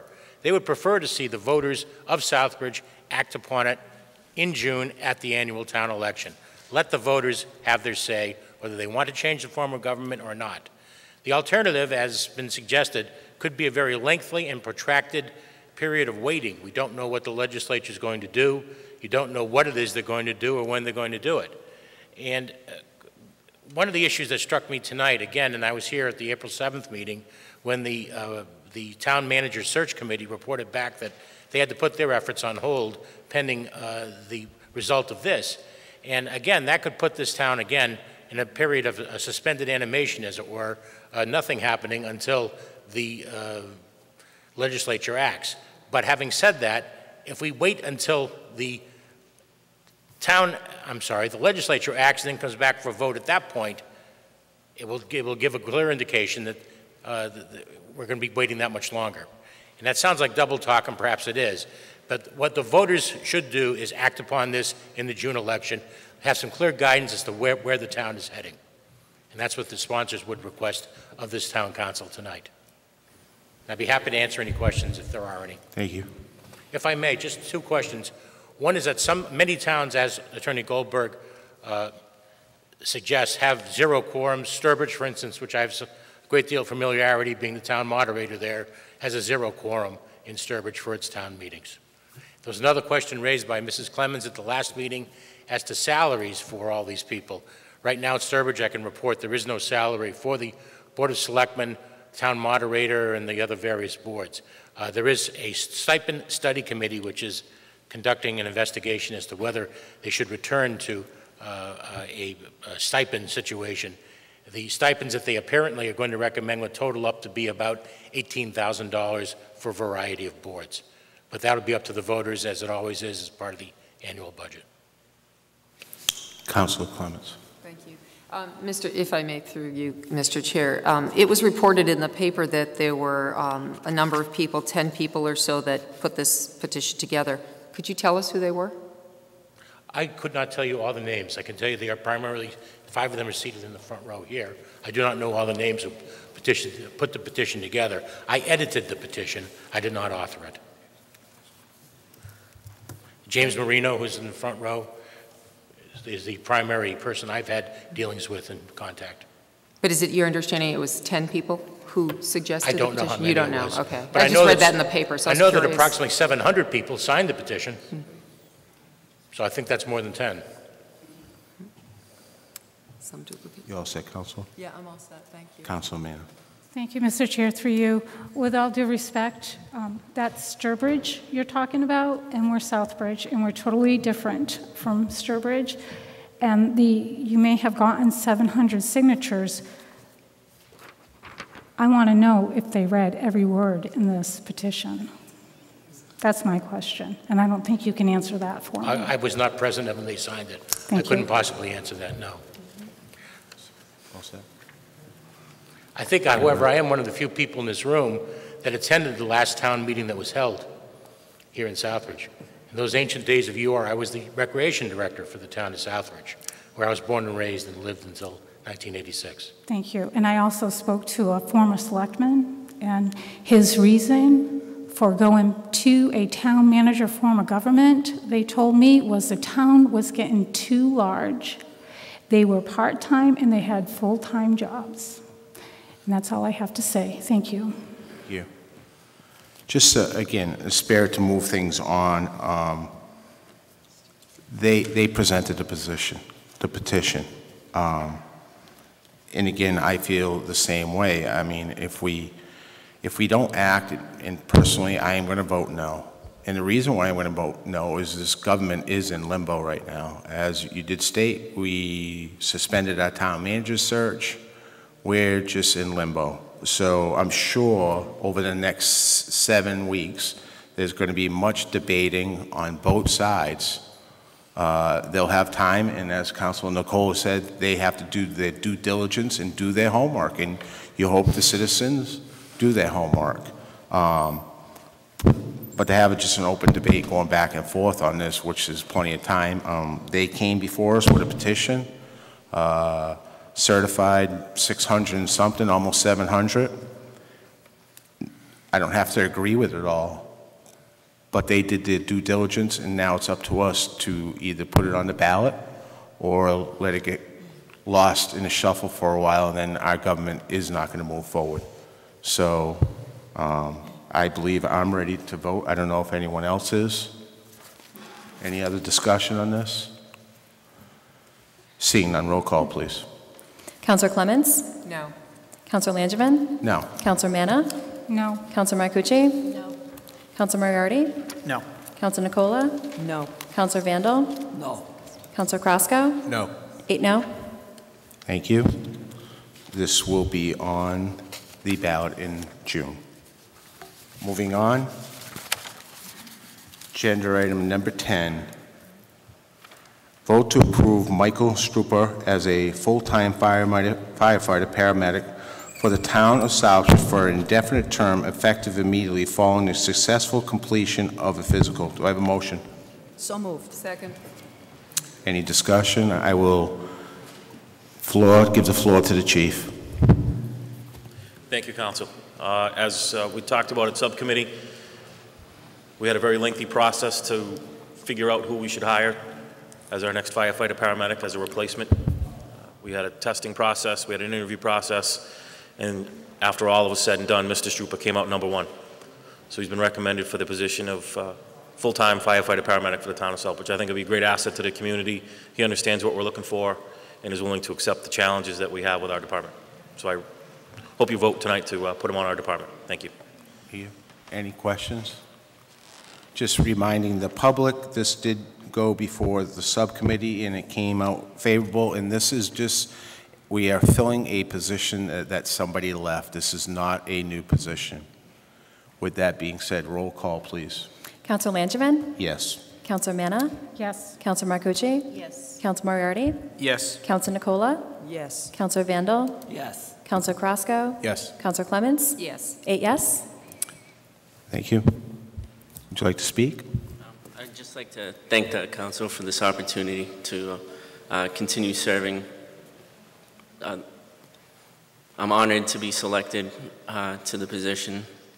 I'm looking forward to getting to know the town of Southbridge and serving the town of Southbridge for many years to come. Thank you. Thank you very much, and congratulations.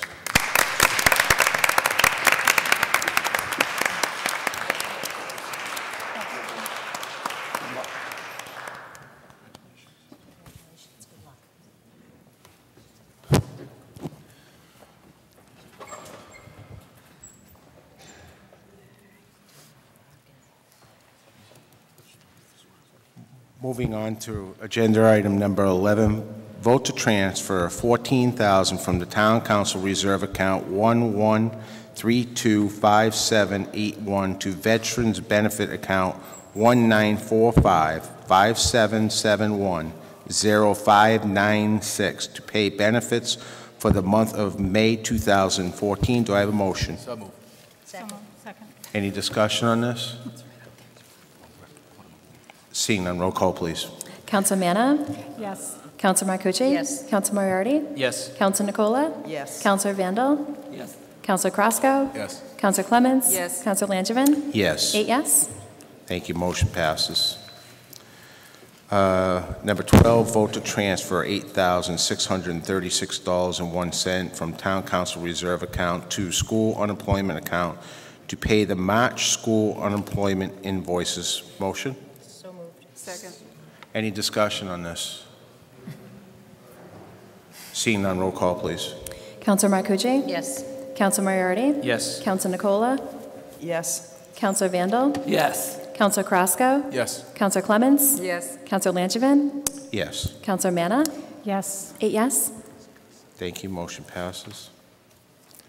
Agenda item number 13, vote to transfer $7,645 from the repair account hangar door number 35895899909080 to the airport revolving fund number 8039 to pay reimbursements to Mr. Latour per the memorandum of agreement dated March 20th, 2014 for the purpose of effecting a termination of the Southbridge Municipal Airport lease agreement.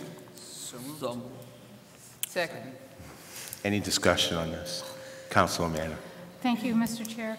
I just want to emphasize that this is not the termination of the airport. It's just the termination of the lease agreement.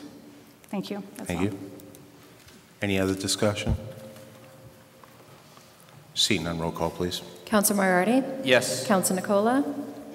Yes. Counselor Vandal? yes. Counselor Carrasco? Yes. Counselor Clemens? Yes. Counselor Lemon- Langevin? Yes. Counselor Manna? Yes. Counselor Marcucci? Yes. Eight yes. Thank you, motion passes. Agenda item number 14, vote to award the bid of Spartan ER, ERV for the purchase of a triple combination pumper truck in the amount of $381,924. The funds were approved for the borrowing of, at the May 20th, 2013 Town Council meeting in the amount of $410,000. I have a motion. So moved. Second. Any discussion on this? Seeing none? Roll call, please. Counselor Nicola? Yes. Councilor Vandal? Yes. Councilor Carrasco? Yes. Councilor Clemens? Yes. Councilor Langevin? Yes. Councilor Manna? Yes. Councilor Marcucci? Yes. Councilor Moriarty? Yes. Eight yes. Motion passes. Agenda item number 15, vote to commence the process to accept as a public road the subdi- subdivision known as Servant Way and refer to the matter to the planning board for a non-binding recommendation. So. Second? Any discussion on this one? Councilor Clemens. Sorry, I just have a question. Will this come back to us also in the final? I'm not sure how this process works. When they do accept it, we get it back, correct? Absolutely. Okay, I just wanted to make sure. I know that there's a couple little things Yeah. I've been hearing, so I just want, and I know um, our DPW director is is making sure that everything is complied with, so. Yep. Thank you. Certainly. Any other questions? Seeing none, roll call, please. Counselor Vandal? Yes. Counselor Carrasco? Yes. Counselor Clemens? Yes. Counselor Langevin? Yes. Counselor Manna? Yes. Counselor Marcucci? Yes. Counselor Moriarty? Yes. Counselor Nicola? Yes. Eight yes. Thank you. Motion passes. Agenda item number 16, vote to approve the one-time contract between the Mass DOT Highways Division District Office and the Town of Southbridge, allowing the Town of Southbridge the drawdown of $72,821 for reimbursement of specific purpose road of, excuse me, road and road facility repairs resulting from this harsh winter. Do I have a motion? So moved. Second. Any discussion on this? Seeing none, this, this did go before our DPW subcommittee, and it did pass. Uh, Just a reference, Councilor Nicola. I just wanted to clarify that this is not $72,000 coming out of our funding. Correct.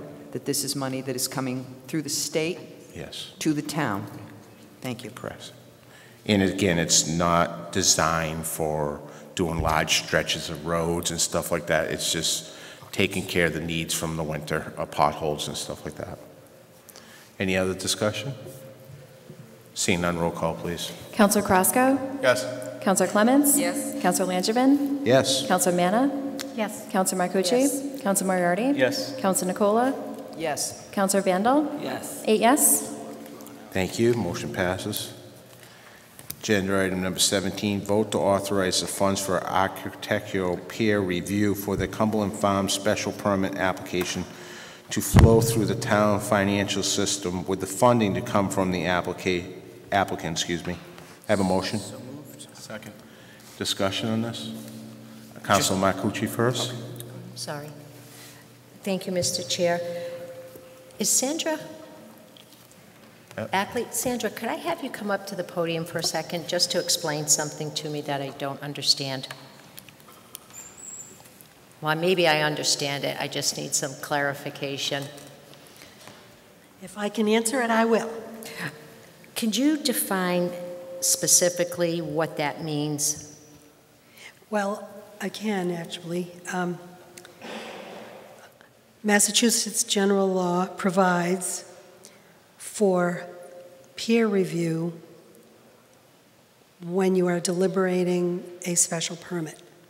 And what that means is that at the applicant's expense, the town can hire a consultant, in this case an architect, to review the plans on the town's behalf. Because the planning board or the redevelopment authority are not experts regarding architecture. So when they're reading and approving or disapproving a plan, it's really very helpful for them to have this professional advice from someone on their side. And this is a soup to nuts type of report, Sandra, or is it specific to something? It's specific to a project, and it's specific, uh, in, in the case of the traffic um, impact study, which you approved last time. It was to specifically um, assess the traffic impact study that Cumberland Farms submitted. In this case, the architect will review the, the plans of the building and the grounds and how it looks to make sure it fits in with the downtown guidelines and um, historical guidelines. Okay. And in the weekly report, um, there was a note from you that the planning board heard and approved a, I'm sorry, I don't even want to say that. Um, The long-awaited public hearing for Cumberland Farms was put off once again because we had not yet received the results of the traffic study review, and it will now be opened on May 14th at 6:45 PM. The redevelopment authority met on April 22nd with both Cumberland Farms and architect Dan Benoit present. Since the project is in the downtown redevelopment area, the RDA must vote to issue a certificate of appropriateness, which I don't understand what that is. Um, At this point, details are being discussed with the RDA, and we'll meet one more time before voting. So there's two separate, there's two separate processes there. One of them is the traffic impact study. The other is the architectural study, and the architectural study is being done on behalf of the redevelopment authority because they have, they have a approved, or we have an approved downtown redevelopment plan, and there are guidelines that were approved with the plan by the town. And within those guidelines, it says that the redevelopment authority for a new project like this would review and um, issue a certificate of appropriateness if that's, if it's, if they agree that the building is appropriate for their for their redevelopment area. And the redevelopment authority is an authority. It has the powers to um, hire the um, architect on its own. But what happens is that it's best for the money to flow through the town for purposes of transparency. So they actually were able to sign their own agreement with the architect. And we could just have the Cumberland Farms people issue the check to the architect. But that really wouldn't be in the best interest of the town. is it prudent, though, if they're not going to open the traffic study review until May 14th? I mean, if the traffic study review is negative, then isn't everything else a mute point? Um, I don't think it's, I don't think it's a problem that the redevelopment authority is deliberating now. Um, They've actually, Cumberland Farms came to the redevelopment authority actually in the summertime um, because they knew that if they didn't get support from the redevelopment authority, that the redevelopment authority would not be able to recommend the, um, the project to the planning board. In the end, the planning board has to approve a special permit. They will not do that if the redevelopment authority says, we don't think this is appropriate. But I would think the first step, and I'm, this is only my opinion, the first step would be to see if the traffic study is something that's viable, because if it's not, everything else is dead in the water. Well, they didn't even submit an application to the planning board until the fall, and I don't think others saw it that way. Uh, But at any rate, we addressed the issues as they came forward. And if both of those things don't happen, it would not be approved. Okay, thank you. Thank you very much. Councilor Vandal. Um, I want to put a stop on this until after the study. What, what Councilor Marcucci said makes sense. Why are we going to vote for something tonight if the traffic study doesn't come in? If it comes in, good, you know, I mean, if it comes in that there's too many cars or whatever, then we're just putting the cart before the horse here. I understand what you're saying, but the petitioners came to the redevelopment authority when they did. So the redevelopment authority responded appropriately, I think. All set, Council. Thank you, yes, thank you. Council comments. This is another, this is a professional opinion that is supposed to help in the decision-making process. Yes. Okay. This is not costing the town any money. This money is being paid for by the applicant. Yes. Okay. So it's due diligence, whether it's before or after, it's due diligence, and they've already done this. All they're asking now is for transparency and using our financial system so that they're not being paid directly, because that would not be a good thing.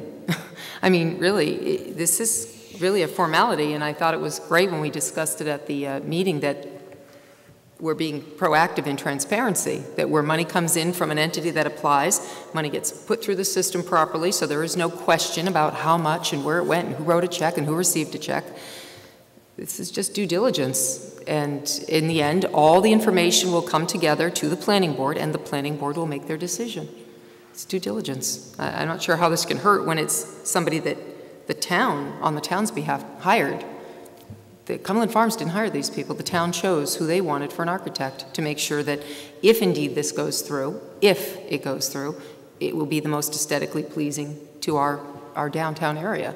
I'm not sure why we're really debating something that is, it's a, it's a professional opinion that we need more of those, and I don't see why it's an issue at all. It seems irrelevant to, to worry about it that way. I mean, it's not going to be done until it's done, until everything is done, so, thank you. All set, Council? Council Marcucci?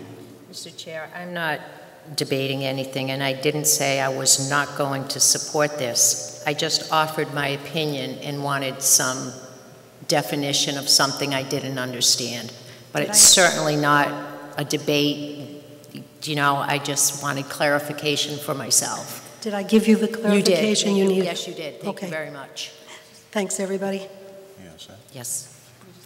Council comments. I just want to make it clear, I was, I'm only stating my comments. It was nothing, it it was more for probably different counselor's uh, comment. But I, I think what Ms., uh, what Counselor Marcucci asked is very important because the public needs to know what we're doing, absolutely. I'm just, I was just putting it out there as to the understanding as to who's paying, why we're doing it. And, but I do appreciate Counselor Marcucci's questioning what cer- certain things meant because not everybody understands what the process is. So I hope there's no offense taken at my, my comment. Sorry if there was. No. Thank you. Any other discussion on this? Seeing none, roll call, please. Counselor Clements? Yes. Counselor Langevin? Yes. Counselor Manna? Yes. Counselor Marcucci? Yes. Counselor Moriarty? Yes. Counselor Nicola? Yes. Counselor Vandal? No. Counselor Carrasco? Yes. Seven yes, one no. Thank you. Motion does pass. Agenda item number 18, vote to authorize the town manager to execute documents relative to the town of Southbridge CDBG Housing Rehabilitation Loan Program for low, moderate income, owner-occupied occupants until June 30th, 2007. Do I have a motion? So moved. Second. Any discussion on this? Seeing none, roll call, please. Counselor Langevin? Yes. Counselor Manna? Yes. Counselor Marcucci? Yes. Counselor Moriarty? Yes. Counselor Nicola? Yes. Counselor Vandal? Yes. Counselor Carrasco? Yes. Counselor Clements? Yes. Eight yes. Motion passes. Agenda item number 19, vote to recommend to the town council that the McMahon Field and Park Improvements Committee be created to provide input in the redesign of the park, and that the following citizens be appointed to serve on the committee: Charles Bickerstaff, Scott Tatro, David Langevin, Paulette DeZorsi, Patrick Tucker, Sean Moriarty, Richard Marcucci, and Esteban Carrasco. So moved. Second. Any discussion on this? Council Carrasco? I, I just want to make a brief correction. I want to make sure it just says Junior, because that is also my father's name and lives in town. That's Thank all. you for the Thank correction. Any other discussion on this? Seeing none, roll call, please. Counselor Manna? Yes. Counselor Marcucci? Abstain? Counselor Moriarty? Abstain. Counselor Nicola? Yes. Counselor Vandal, Yes. Counselor Carrasco, Abstain? Counselor Clemens, Yes. Counselor Langevin. Abstain. I have four yes and four abstain. I, I know. It's because we're doing, we're trying to do the right thing, even though it's a citizen committee, and God only knows where the election's going to go, and we technically could be citizens just serving on a committee. Um, I, I, I don't know how we want to approach that, because we're going to be really at a stalemate constantly on this. I will um, go to jail for everybody, so I'd like to retract my vote. I'll take it for the team. Right, there's no monetary value, it's just serving. Right. Do we need a Councilor motion to reconsider then? Looks like a fixed I'll make the committee to motion. me. Yeah. I'll make a motion to reconsider. Second. With that being said, can we have a roll call again, please? Okay. This is to reconsider. So Yeah, Counselor for- Marcucci. This is going to be for the reconsider, okay? Reconsidering, yeah. Yep. Counselor Marcucci? Yes. Counselor Moriarty? Yes. Counselor Nicola? Yes. Counselor Vandal? Yes. Counselor Carrasco? Yes. Counselor Clemens? Yes. Counselor Langevin? Yes. Counselor Manna? Yes. Eight yes? Okay, so back, now back to the, the regular motion on the floor. Any other discussion on this? We'll try this, No, I'm all set. yes, sir. we'll, tr- we'll try this vote again. Okay, it's Counselor Moriarty, Abstain. Counselor Nicola, Yes. Counselor Vandal, Yes. Counselor Carrasco, Yes. Counselor Clemens, Yes. Counselor Langevin, I might go to jail also, but really, I'm just serving my community, so yes. Counselor Manna, Yes. and Counselor Marcucci. Bring me bread and sugar, yes. Now I have seven yes and one abstain. There Motion passes. Thank you, councilors. Uh, January number 20, councilors forum. Uh, This evening, I'll start with Councilor Vandal. Uh, Mr. Chairman, uh, down on, uh, near the fair, down there, near the Golden Creek, we got to start getting, work on that sidewalk down there. It- It is a dangerous spot. Every, just about every time I go by there, the, you know, people are pushing carriages, baby carriages, store carriages, and they're kind of out in the road, so I think we need the sidewalk there. And at the bottom of uh, West Street, right behind Domino's Pizza, there's a building there, you can see right through the, you can see right through the roof. It's a metal building, it's all rusty and decrepit, and, you know, something's got to be done with that building. Probably tell the owners to, you know, take it down or something. And that's all I have, Mr. Chairman. Thank you. Thank you. And just point of reference, uh, me and Ms. Harnois's had that conversation about down by Golden Creek because I know it was said at the end of last year's construction season that they will be ready to go. So they're starting to ramp up things now, and I'm sure they'll get back to us with that answer, okay? Thank you. Certainly. Councilor Manna. Thank you, Mr. Chair. I do have a couple of things. Um, First, I want to speak on um, something that happened last, at the last town council meeting at Citizens Forum. A citizen came forward and talked about the school committee meeting minutes and the citizens, um, when they have citizens forum or the information, that the citizens aren't being recorded, but in all actuality, they are being recorded. When a citizen goes up to the school committee and discusses things, they're, they're recorded into the minutes, and you can go on the school's website, and I went back to 2010, and I found all of that. So that statement was an inaccurate statement, and I just wanted to clarify that, because there was some discussion up here um, in regards to that with us, so. Um, I I also want to talk, just for a couple minutes, in regards to the petition. Um, I'm I'm gonna, I'm gonna try to talk as a regular citizen, though, because I am a citizen of this town. It's going to affect me also as a citizen. Um, I, if I was not an elected official, I would be up at Citizens Forum with all my research that I did, and I would be speaking out against this because this is going back in time. We're going backwards. And back, going backwards sometimes is not a good thing. And there's a lot of questions. And I really encourage the community to do their homework. When I asked the Sturbridge attorney if he could tell me if the citizens actually read this entire petition, I don't, I, I can't say if any of them did, but I know I've signed petitions before just to sign them. You know, this, this is a really important piece of paper right here.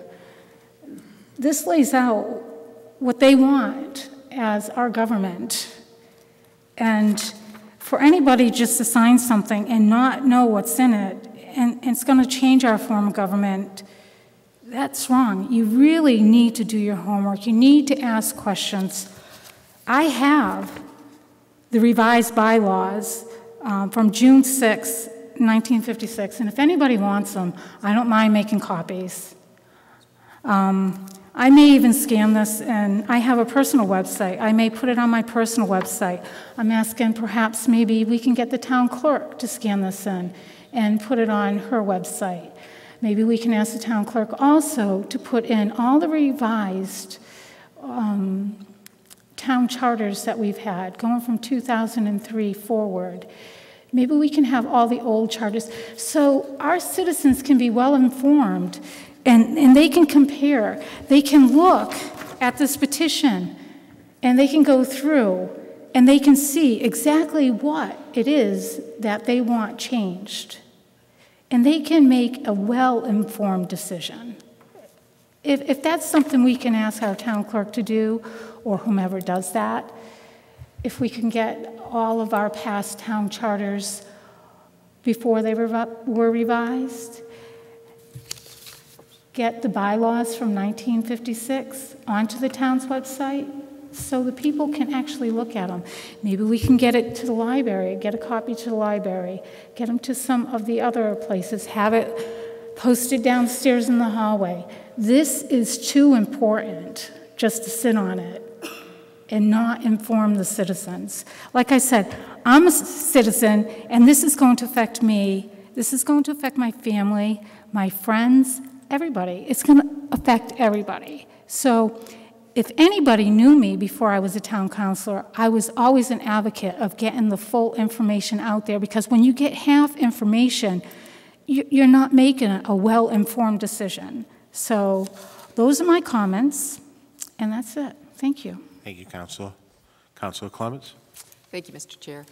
Um, I would like to uh, send a big kudos uh, and thank you out to Ted Bartlett. Um, I'm sure there are people here and people out there watching who were just as privileged as I was to go to a free concert on Saturday evening, and uh, it was by the good uh, works of, of, Mr. Bartlett and many others who were listed as supporters for the event that we were able to have the um, Air Force band come and play at the school. And it was a wonderful concert. Um, great group of, of uh, musicians. We, they were singing and dancing and pretty much everything. Um, and it was a very good turnout. While the auditorium, which is very large at the high school, was not completely full, it was near full and um, a testament to the community and, and, the things that they like to participate in here. Uh, and I know Mr. Bartlett announced at the end that he was looking forward to getting the the Air Force Band back for us again um, in, the, in the upcoming years. So if you have the chance in the future to see them, whether it is here or somewhere else, I would encourage it. It was a wonderful performance, um, nostalgic, uh, and uh, very uh, tugged at your heart, definitely, um, with some of the stories and, and, such that we heard. So congratulations to Mr. Bartlett for a job well done on that one. And now we go back to business, and I would just like make a few comments. You know, it's been the budget season. It's not our funnest time of year up here as counselors, and um, you certainly do learn something new every year. Uh, it's been five for me and nine for Councilor Nicola over there, uh, many for, for others.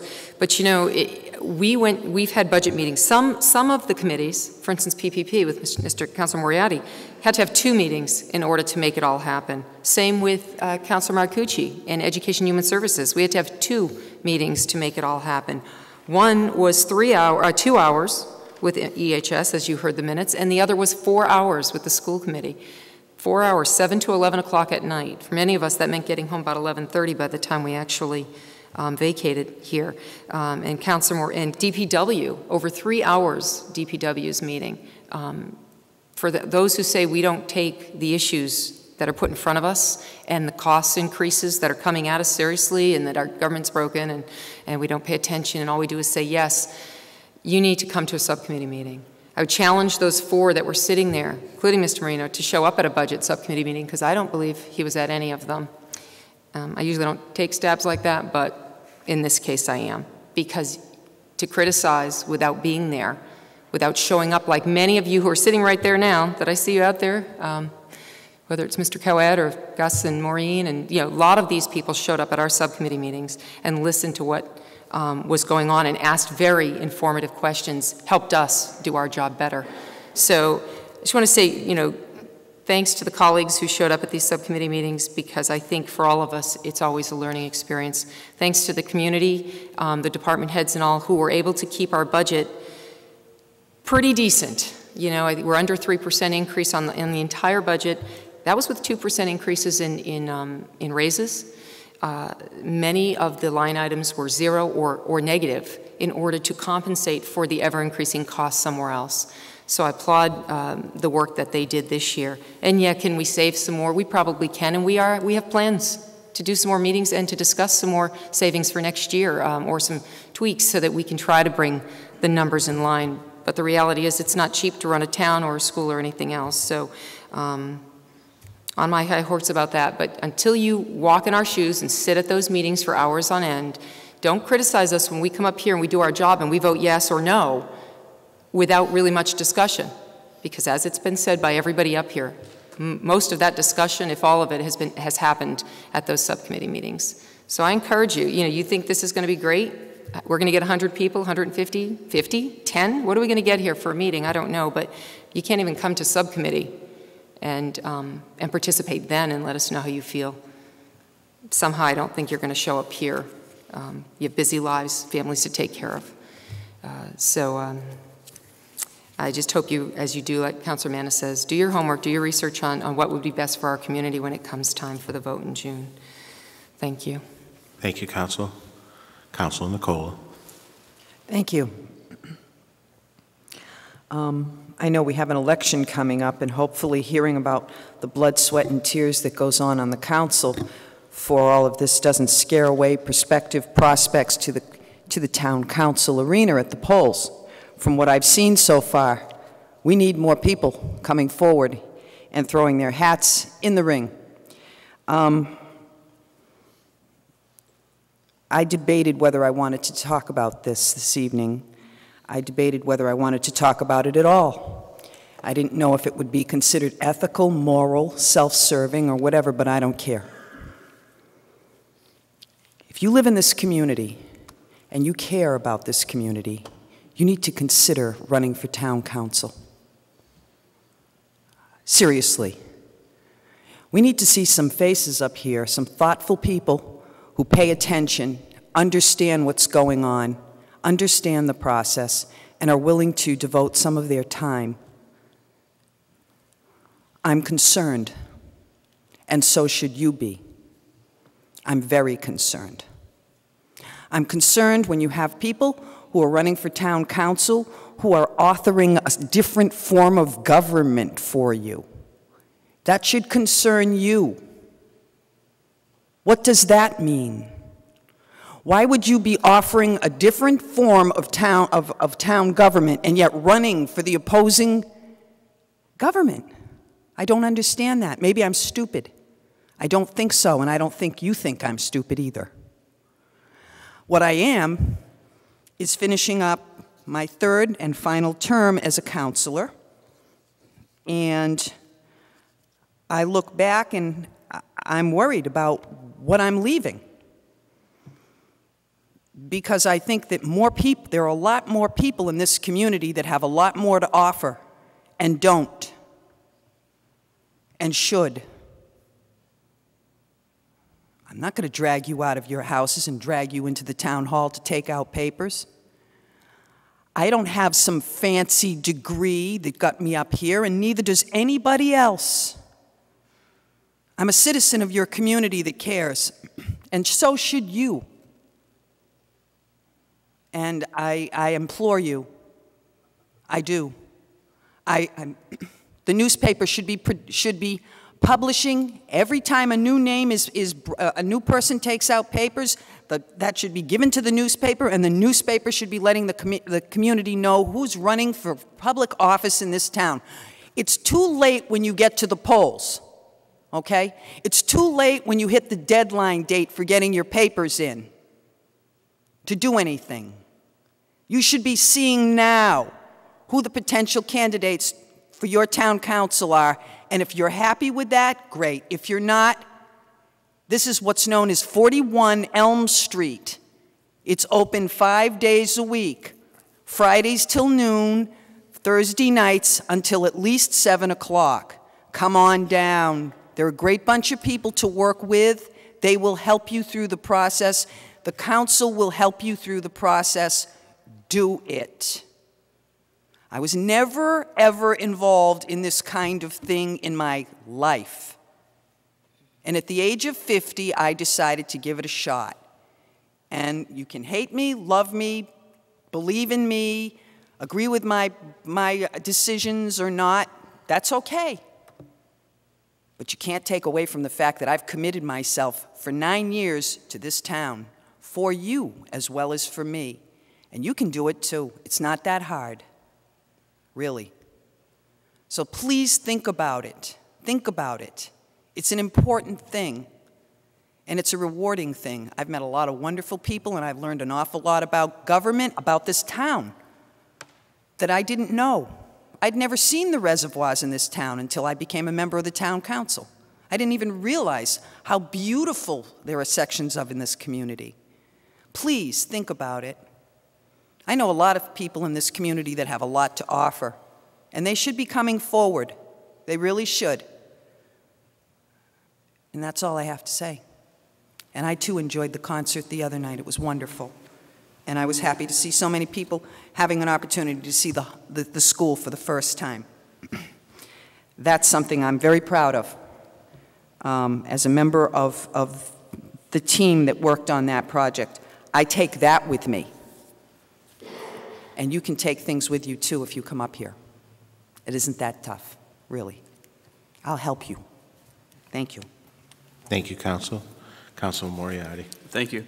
Uh, wasn't on my radar, my radar up until just a moment ago, really, I guess, but I just kind of want to echo a lot of uh, what Councilor Nicola kind of pointed out, and a number of, of different quotes and proverbs that jump to mind, whether it's, you know, ask not, or, or make a difference, and, and be the change in the world you want to see, all those sort of uh, old chestnuts. But uh, fact of the matter is, it ends up being true.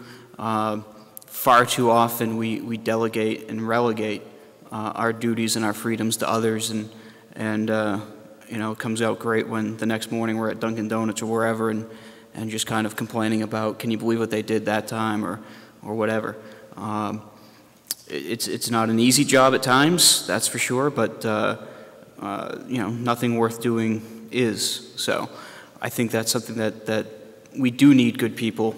Uh, personally, you know, I, have grown, I grew quite tired, and that's one of the reasons I ran, of, of seeing the same faces over and over uh, just kind of being recycled um, as candidates and, and counselors and such. And um, so I, am I'm, I'm all for getting some, some new blood, fresh faces, fresh ideas involved.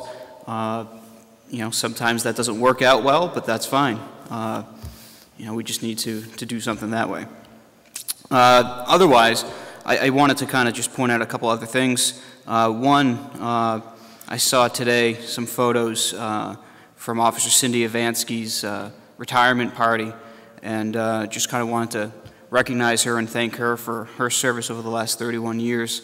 I've known Cindy since I was probably in diapers, probably, um, with my brother working with her. So uh, she's one of the most honest and sincere and, and professional uh, officers I've ever met, and I just wanted to kind of wish her well going forward.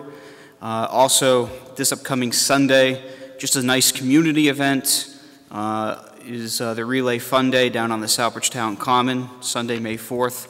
That runs from 10 to 3. They have different vendors and uh, Billy Belanger's down there with the train and other amusement type rides. There's free music, there's food, uh, different things going on. uh, down on the town common, and, and that's just a nice event, uh, a cheap day out. Uh, You can do it for free, really, depending on how you do it. Um, And then just lastly, uh, I suppose the, the more appropriate time was while she was here, but uh, just as far as uh, Robin Latai uh, and her presentation, uh, I I just wanted to kind of thank and recognize her similar to as the chair did in terms of her, her raising awareness and, and being an advocate uh, in terms of, of organ donors and, and, and things like that. Uh, certainly, uh, Robin has seen, as, as many of others have as well, uh, you know, you can't really take life for granted. You'd never know uh, when that clock is up. We each get, you know, an undetermined number of, of spins around the sun, and um, you know, so I think it's great that, that she was able to go through what was obviously a difficult and, and harrowing experience, but to come through it uh, so strongly and to come through it finding kind of the positive, the silver lining of a difficult journey, um, and, and taking those steps to, to make sure that people are aware of that and as to how to go forward and, and, and raise that awareness. Um, so hopefully, I know I have on my license, I've got that little heart uh, uh, with the OD on there. Um, so, uh, you know, hopefully many others do, and if you don't, please consider it. Uh, you, you have no idea whose life you could be saving. It, it's amazing. Thank you. Thank you, Council. Council Carrasco. Yes, um, I just have a few things. Um, one of them I also want to echo and thank um, Officer Ivansky for her service for 31 years on our police department. Um, I also known her for a very long time, and I just want to thank her for the service. I also want to echo one of the, um, the announcements that our chairman made. Um, speeding and pedestrian crossing, um, please let's be aware of it. Um, we had a fatality last year. Um, let's let's not have it again. Please be aware of people crossing the streets. Slow down. Watch what we're doing um, when we're driving. And the third thing is, I, I encourage all those of faith. On Thursday is National Day of Prayer. Um, our our nation needs prayer. Our town needs prayer. Our government needs prayer. So if um, if you just take a few moments, it's National Day of Prayer this Thursday, May 1st. That's all I have. Thank you. Thank you, Counsel. Counsel Marcucci. Thank you, Mr. Chair. Just uh, one point I'd like to bring out. I know, Councilor Manny, you're concerned, um, as all councilors, and I'm sure citizens, about what's going to be on the agenda in June as far as the change in the form of government. This past week, I had a conversation with Don Jutton, who is the president of the company that we hired for the town manager search, with the approval of the town council, and I will discuss it with the chairman.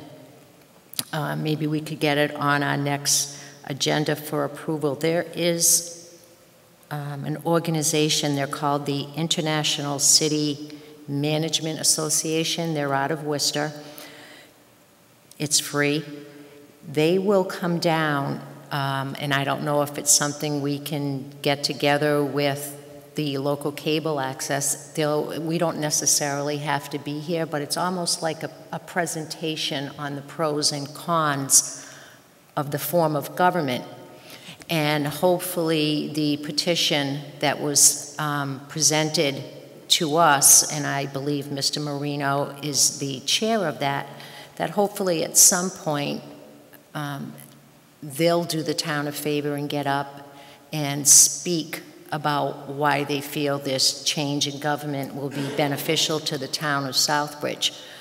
Uh, so I just want you to know that with the approval of the town council, um, I'll talk to the chairman, maybe we can get it on May 5th's agenda and have them come down and do a presentation, not necessarily to us, but something that can be recorded by our um, cable access committee just to educate people.